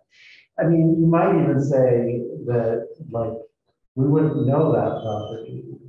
This is kind of like Hume says, like if every visual experience we've ever had was the same shade of purple, we wouldn't recognize that shade of purple as a property. Yeah, Would the, um, the reason for like the conditional nature of scientific theories have involved is, uh, the notion of like Northwestern exhibition means like a initial conditions and in, uh, in natural law. So instead of like putting like y or, or it's definitely y or next to p, definitely x next to p, you put y. If py is true, then qx will be true. If py is initial condition, so I have p, uh, b. And then if that is true, then q, q, qx is true, I think. well, this is related to what Popper calls initial conditions, but I think the relationship goes the other way. Because our theories are not like this, rather they're like this, the type of singular statements that our theories imply are like this. This is a singular statement. It says, if there's a swan at A, there's something white at A.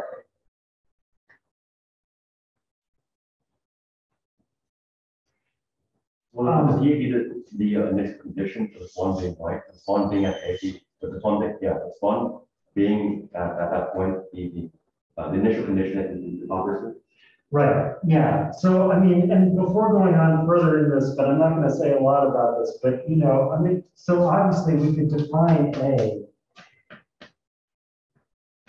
to mean this, right? And then all of a sudden our theory would look like for all x, ax. So it's not really about the, the like symbolic representation, right? It's really about the type of, it's, it's about like what type of statement we actually think of as a report of a singular event, or what Popper calls basic statement. Hmm. Right, so we think there's a swan here as a basic statement. Or sorry, there's a swan here as a basic statement. There's something white here as a basic statement. Um, you know, this predicate, which means this, is like, this is not a basic statement. We won't, so, I mean. uh, Anyway, that's, so that's what the issue really is. I, I think you first. can- So, so he's able to like kind of get around the problem of induction by saying that it's not necessarily, things aren't necessarily predictive, they're like implied by previous conditions.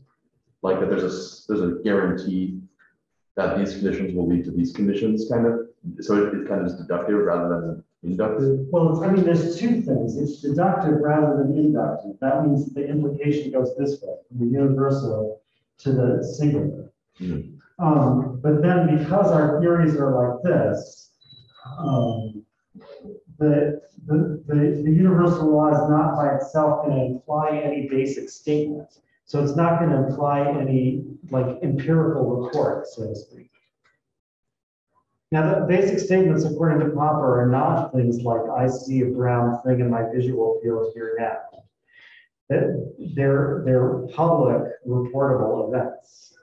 That's essential, right? Because all of scientists have to be able to agree, like, what events happen. So, um, but, you know, so they, so, so a basic statement might be like, there's something white at A. And so, um, universal laws like this imply basic statements like this, only given some certain other basic statements like this. And these are called the initial conditions. Actually, in German, calls them boundary conditions. But for whatever reason, they decided to translate as initial conditions in English. I mean, it's, it's kind of equivalent, except boundary condition is more general. Uh, But, right, so, and this is the prediction.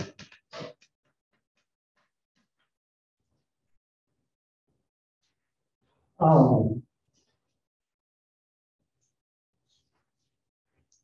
and, um, because the theory implies this basic statement, given these initial conditions, um, it implies this, which is the same as, um,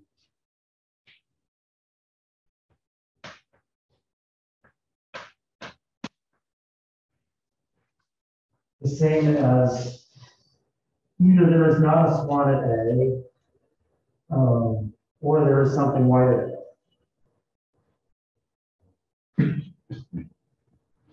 Right, that's, this is a general logical equivalence. Something implies something is the same as not something or, right? So, um, so that is, um, if there isn't something white at A, then there must not be a swan. Right, and so, um, so this, again, like this, is not a basic statement. Because they're equivalent. But, um, this is the negation of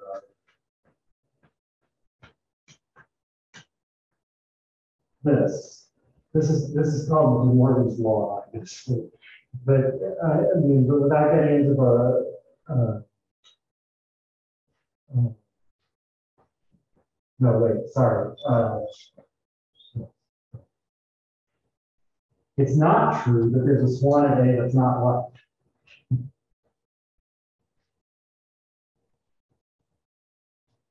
And this part is a basic statement. Right? There's- a non-white swan A. That's a possible um, empirical report. So I know this is probably confusing, but the reason I'm going, but I think it's more confusing if you don't realize this. So, so, so the situation is universal laws on their own don't imply any basic statements. But they do imply the negations of certain basic statements.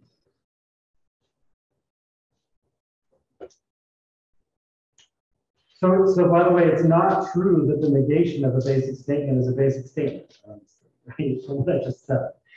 Um, so like basic statement doesn't mean like, you know, statement that can be stated in terms of observational predicates or something like that. It means the kind of thing that can be used as a, as an empirical report by scientists. And, and Popper says ultimately it's a matter of convention, what we're gonna allow and what we're not. It's what the scientists are willing to allow as an observational report. But something like this is gonna be in. Right, someone tells me, I saw a swan at position A and it wasn't white. And I might not believe them, or, you know, might worry about whether they, it was an illusion or whatever, but, but the content of what they're saying is a perfectly good observational report. Um, If they come and, and say, well, I saw something at A that was either not a swan or white, that doesn't really tell me anything. That's, yeah, yeah, right? Because all it tells me is if there was a swan at A, it was right, white. But they didn't tell me if there's a, whether there's a swan at A or not, so they didn't really tell me what was at A at all. Right, so, um, so because the, the universal law, um, even though it doesn't imply basic statements without initial conditions, does imply the negations of basic statements. There's an observational report you can make on its own that will falsify the theory.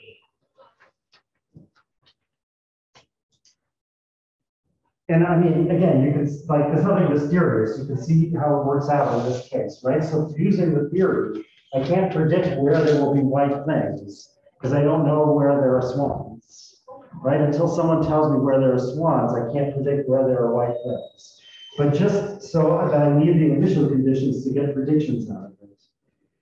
But I don't need any initial conditions to falsify. All I have to do is find some, uh, uh, uh, swan that's not white, that's falsified. Okay. So that's the logical situation according to Popper. Um,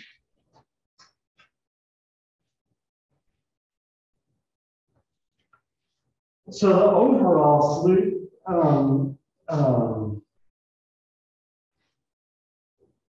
I mean, I could go more into what these initial conditions are and how they really come up in science, but maybe that's not a good idea.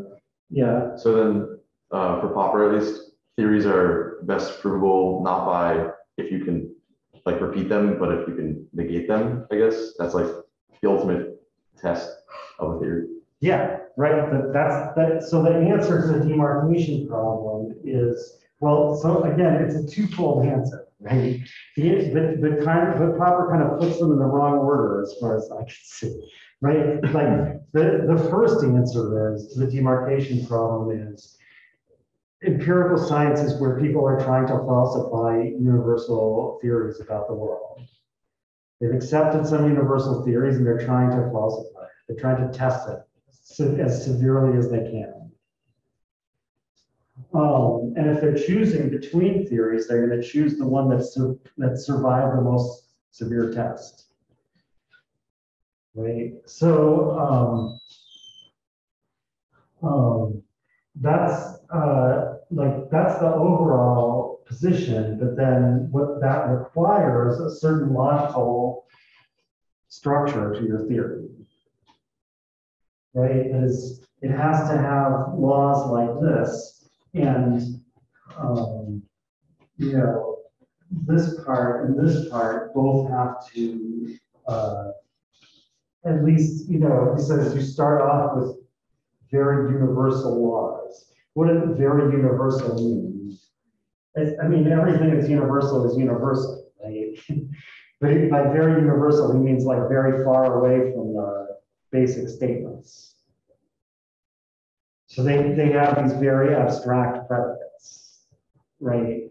But you, you can deduce lower and lower level laws, and eventually you have to be able to get to laws where both the initial condition and the prediction are possible basic statements.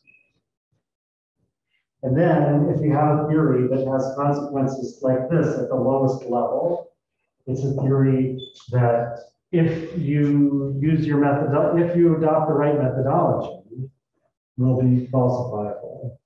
So like the, the, the solution to the logical problem is about the, the logical structure of the theory is a, is a solution to like, what's the logical structure of a theory that's usable for the kind of methodology that I'm saying empirical science should have? Was there, did you have a question a long time ago that I never got to? Have it? Yeah, but now it's time to go. Oh, I'm sorry, all right. Um. no, it's not. Okay. Uh, I'm sorry, a lot, a lot of stuff going on here, looking at the chat.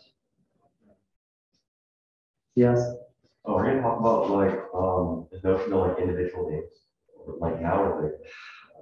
you know, I- it depends how far I get today, be now or later. I didn't ask the question anyway, or just wait. Yeah, why don't you wait till we get to it, because, uh, yeah, I mean, I actually, I did talk about it a little bit last time, but, um.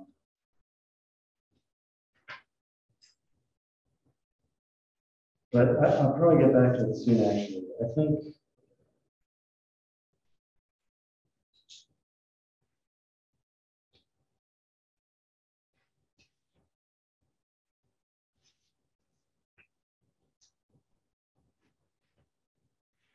So, I mean, so, so by the way, you know, also it should be clear from this that, um, um, that,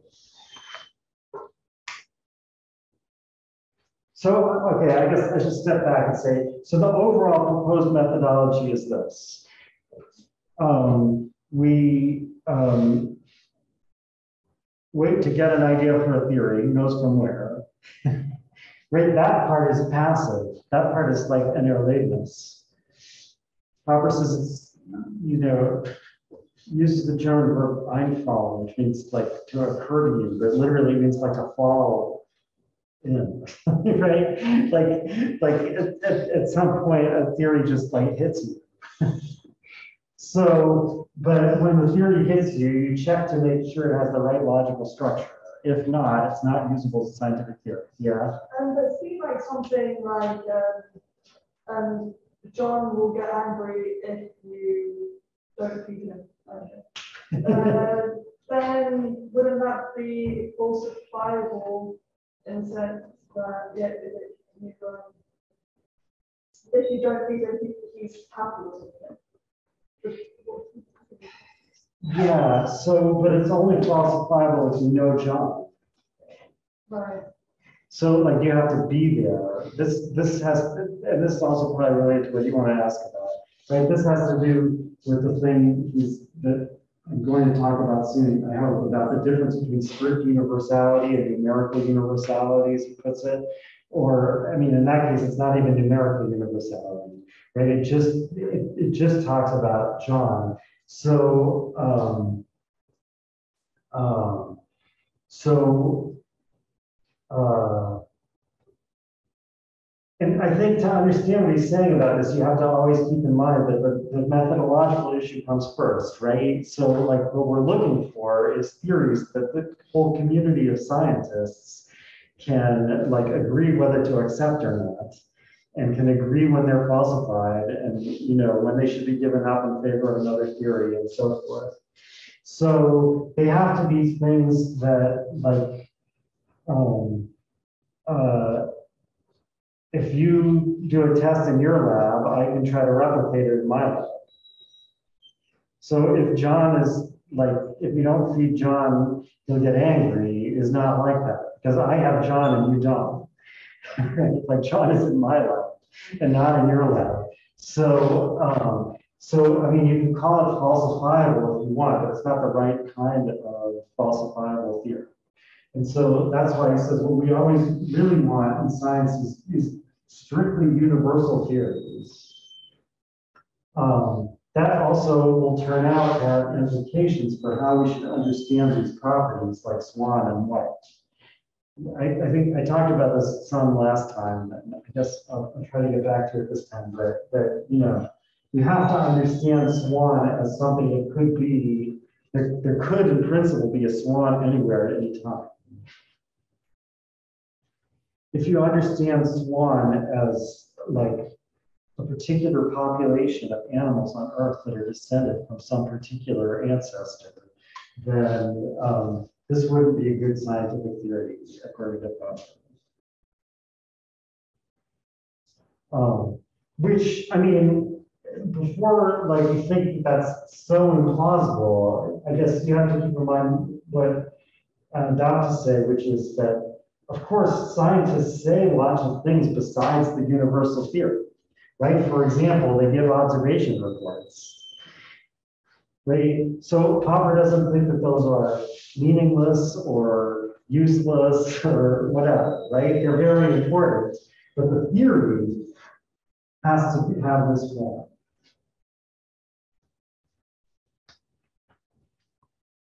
So, you know, so like there exists a population of animals on Earth descended from a certain ancestor and they're all white.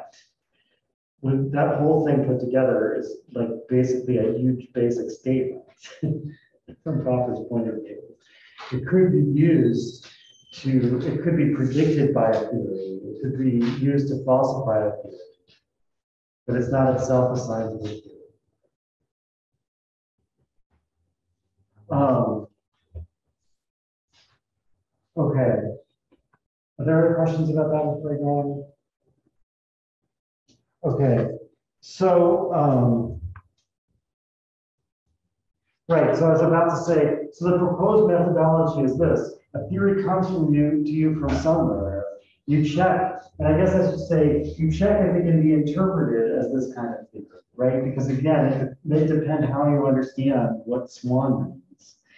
Right, so you, you check if, if you're able to understand it as this kind of theory.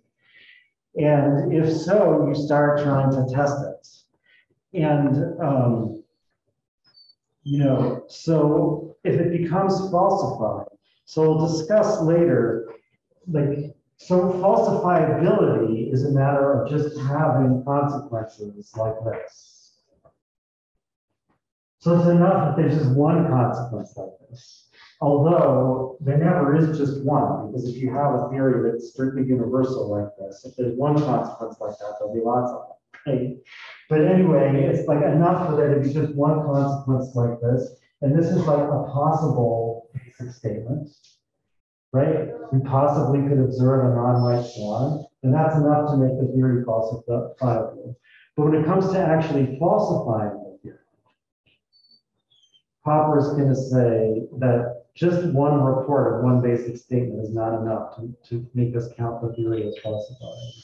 You're going to need, um, it- you know, something more than that he'll try to explain.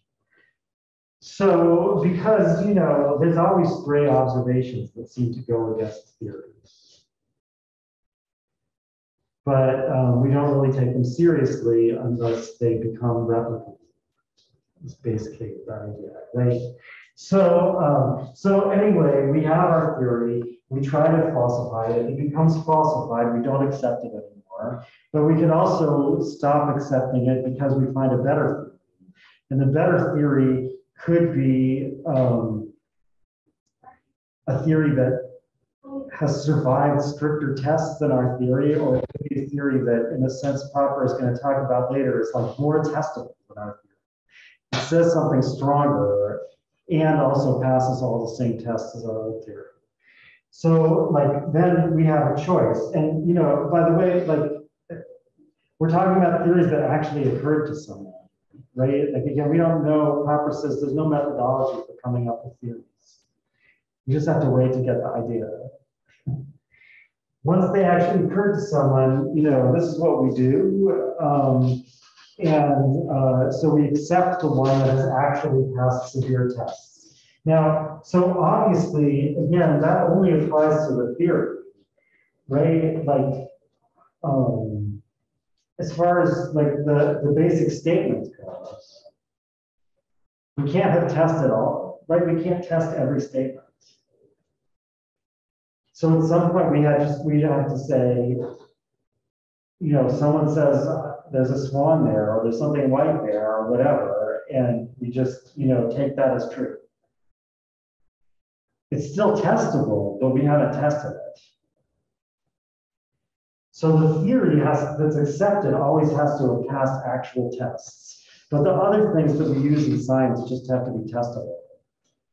And they don't have to be testable by everyone everywhere. They just have to be testable, you know, if you're there or whatever.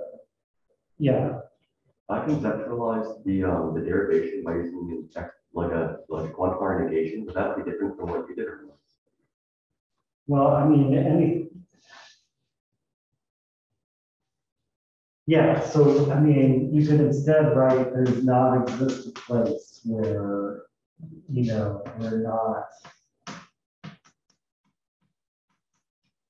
That's, that's, that's equivalent to the law, and then, you know. And then again, you can see why this would, would falsify the. Is there any like difference in the methodology or it's only private, it doesn't matter? Well, it it should, like, at least from Popper's point of view, it should, like, if we use logically equivalent statements of it, it shouldn't make a difference. So, uh, yeah, so, it- so there's, no, there is no difference. But it does, there, you know, there is an advantage to writing it different ways that are equivalent to each other because they help you see different things about it. So uh, Popper does talk about writing it this way, just as, like, it was useful to change this into this into that. Um, at least I found it useful. If Um, yeah, so, I mean, so, yeah, so writing it this way helps you understand another way of looking at what a universal law is. It forbids certain things. Yeah. As, as Popper puts it. Universal law on, on its own doesn't, uh, without initial conditions, doesn't predict anything, but it forbids certain things. Um, Okay. uh, Get started on this. stuff, I guess. Um,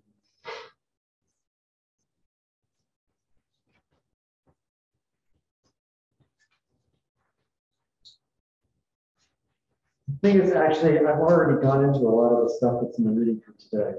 It's come up by the way, or an answer to questions or whatever, so maybe things are not as bad as. they think. Hmm.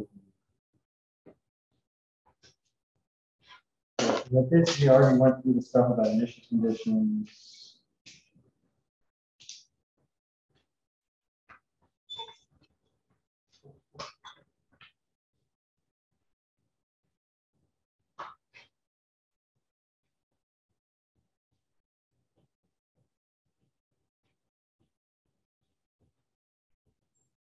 Right, so I think, um, yeah, so like, I think I've already said, you know, like, so a big part of the point of chapter three is just to say what I've already set out here, right? That it, what a scientific theory is, it's a statement of universal, it's a system of universal statements. And by system, Popper means, uh, again, that there's like some higher level ones and that all the others can be deduced from it. So it's axiomatized.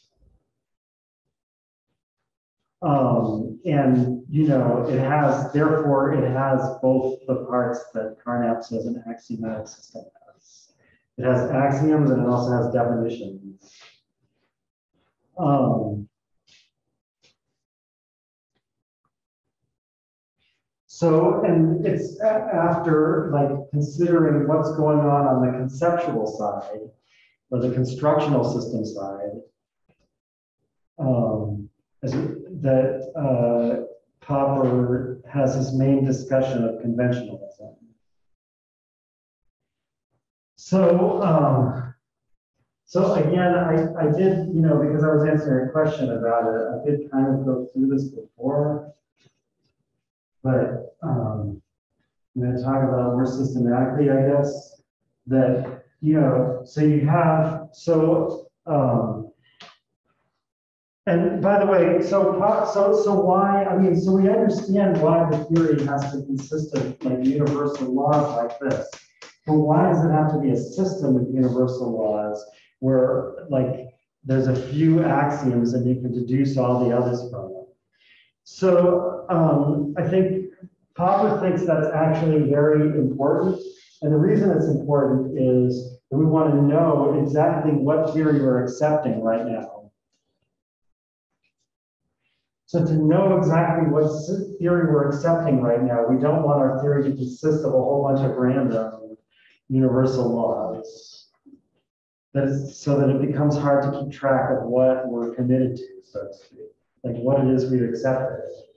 Because if, if that happens, then, you know, when we get, uh, um, um, a basic statement that might seem falsifying, we're gonna be tempted to just, that kind of like shift what we include in the theory and what we don't. And deal with it that way. So, um, so, so I think Popper's idea that a scientific theory in principle should be completely systematic and axiomatized comes from the same methodological concerns that he has everywhere else. It's like, ideally, we want a theory that where it's really easy to tell what the consequences of the theory are.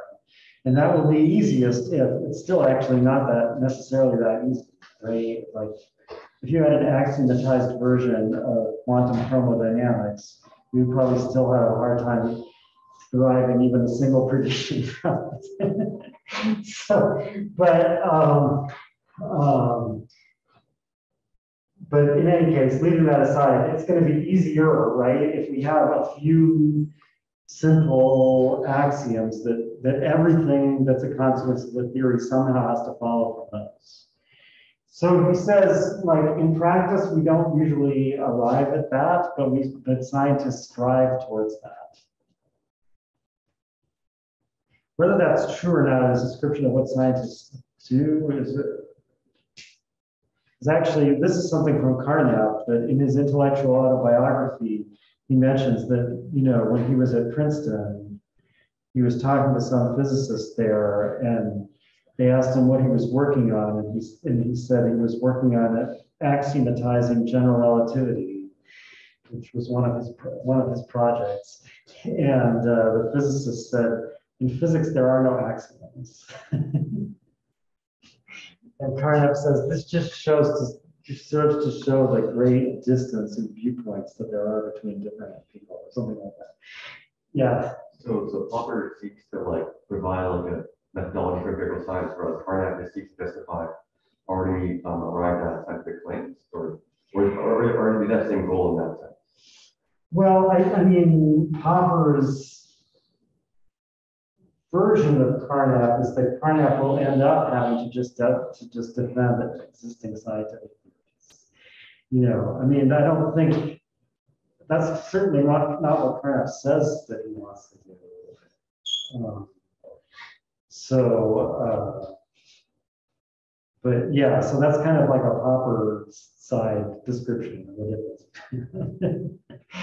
Right. Um, but, uh, um,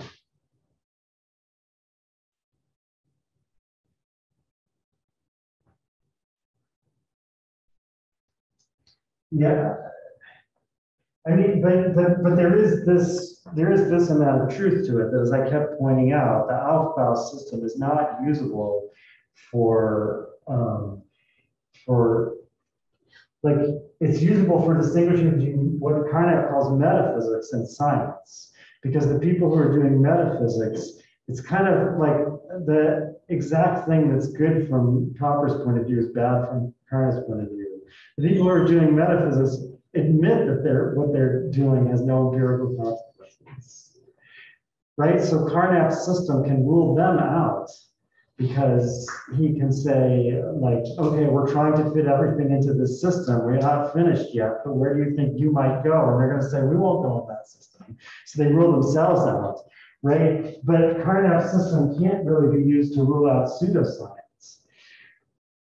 right? Because if the like if the astrologers say, oh yeah, sure enough, we fit in the system somewhere, then that just adds to Carnap's project, right? Like construct the concepts of astrology. we may not know how to do that. We don't know how to do that for art criticism either, right? So like, um, uh, whereas on the other hand, the, the same difference between them is what from Popper's point of view, makes this okay because they, they admit they're not doing empirical science.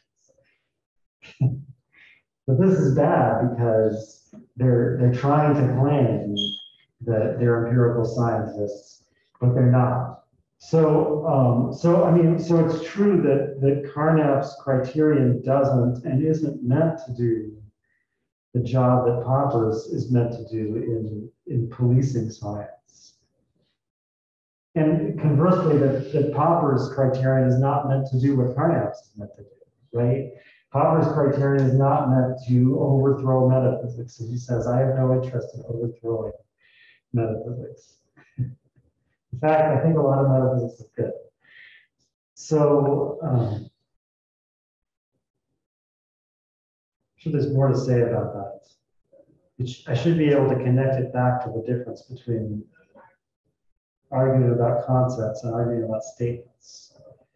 But, um, I mean, at least you can see that, that like Popper's methodological criteria is not going to be able, won't be able to state it, to, to state it in terms of what um, concepts you should use. Right? Because we have like statements like, you know, it is raining here. Um, or it is not raining here.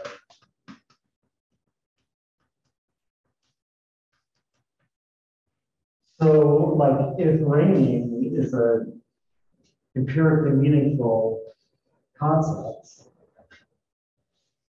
then this sentence is going to be okay according to Carnap. But obviously it's not falsifiable or testable in any way. Because it's automatically true? I mean, as- assuming raining is, uh, like, by it is not raining here, I mean, like. Not, it is raining here. Why am I, why am I making that change? Just, I'm, I'm just worried about the vagueness of raining, right? That like maybe there's an intermediate between raining and not raining. No, no, sorry, I shouldn't have brought it up. But, but that's right, that this, that the, the law of excluded middle might not really apply. Right, but, um, but, but anyway, so you understand, like, where the example's supposed to work. Um, is raining here or it is not raining here, it's automatically true, it's not falsifiable. But it uses the same concept as it is raining here, which is a good basic statement. So, um, so that, so that like the difference between what they're trying to do, which somehow translates into the difference between um, uh, the, the different criteria they set up is somehow reflected in the fact that one of them focuses on concepts and the other one focuses on statements. Sorry, what was I saying before? That was a good question, but I can't remember. Um, all right, okay, four minutes left. So as I predicted, I won't get to the end of what I wanted to talk about today. But, um, but so anyway, so we have this, so there's a reason we're supposed to have this systematic theory. It has axioms at the top, and it- then it has lower level universal statements, and then at the bottom it has the lowest level universal statements, and the lowest universal level universal statements are like this, where, where, you know, these are possible predicates of, of basic statements.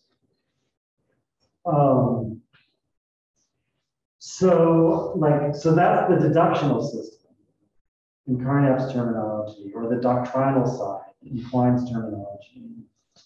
And that's what Popper is mostly interested in, right? And then he's interested in, you know, how these, from these you can deduce the negations of basic statements and so forth. But at the same time, there's also, you know, what concepts are we going to use to, to state these axioms?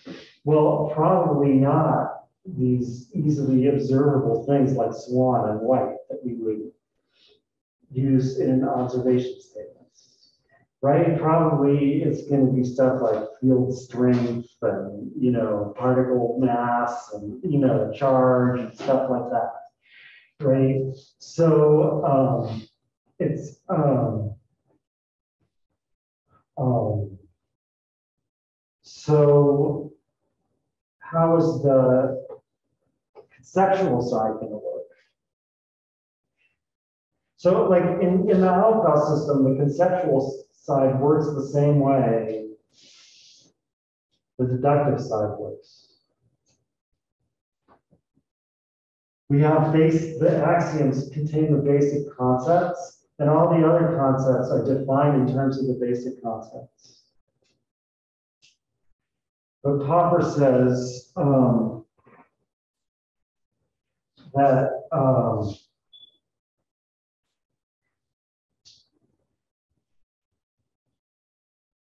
let me get into this. Um,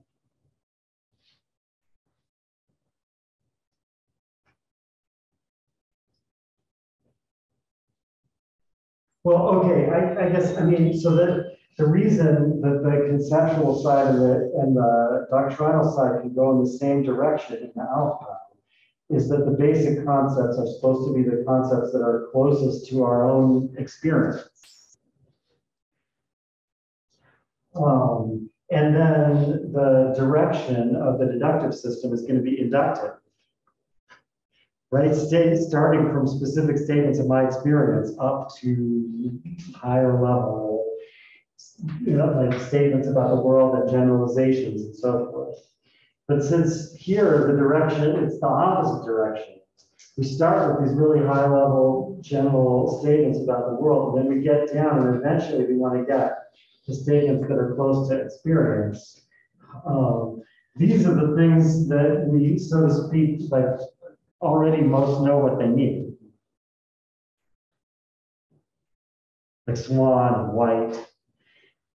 So, um, so the, so the conceptual side is going to go the other way.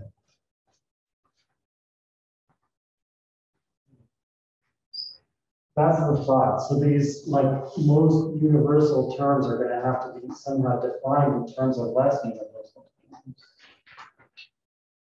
Um,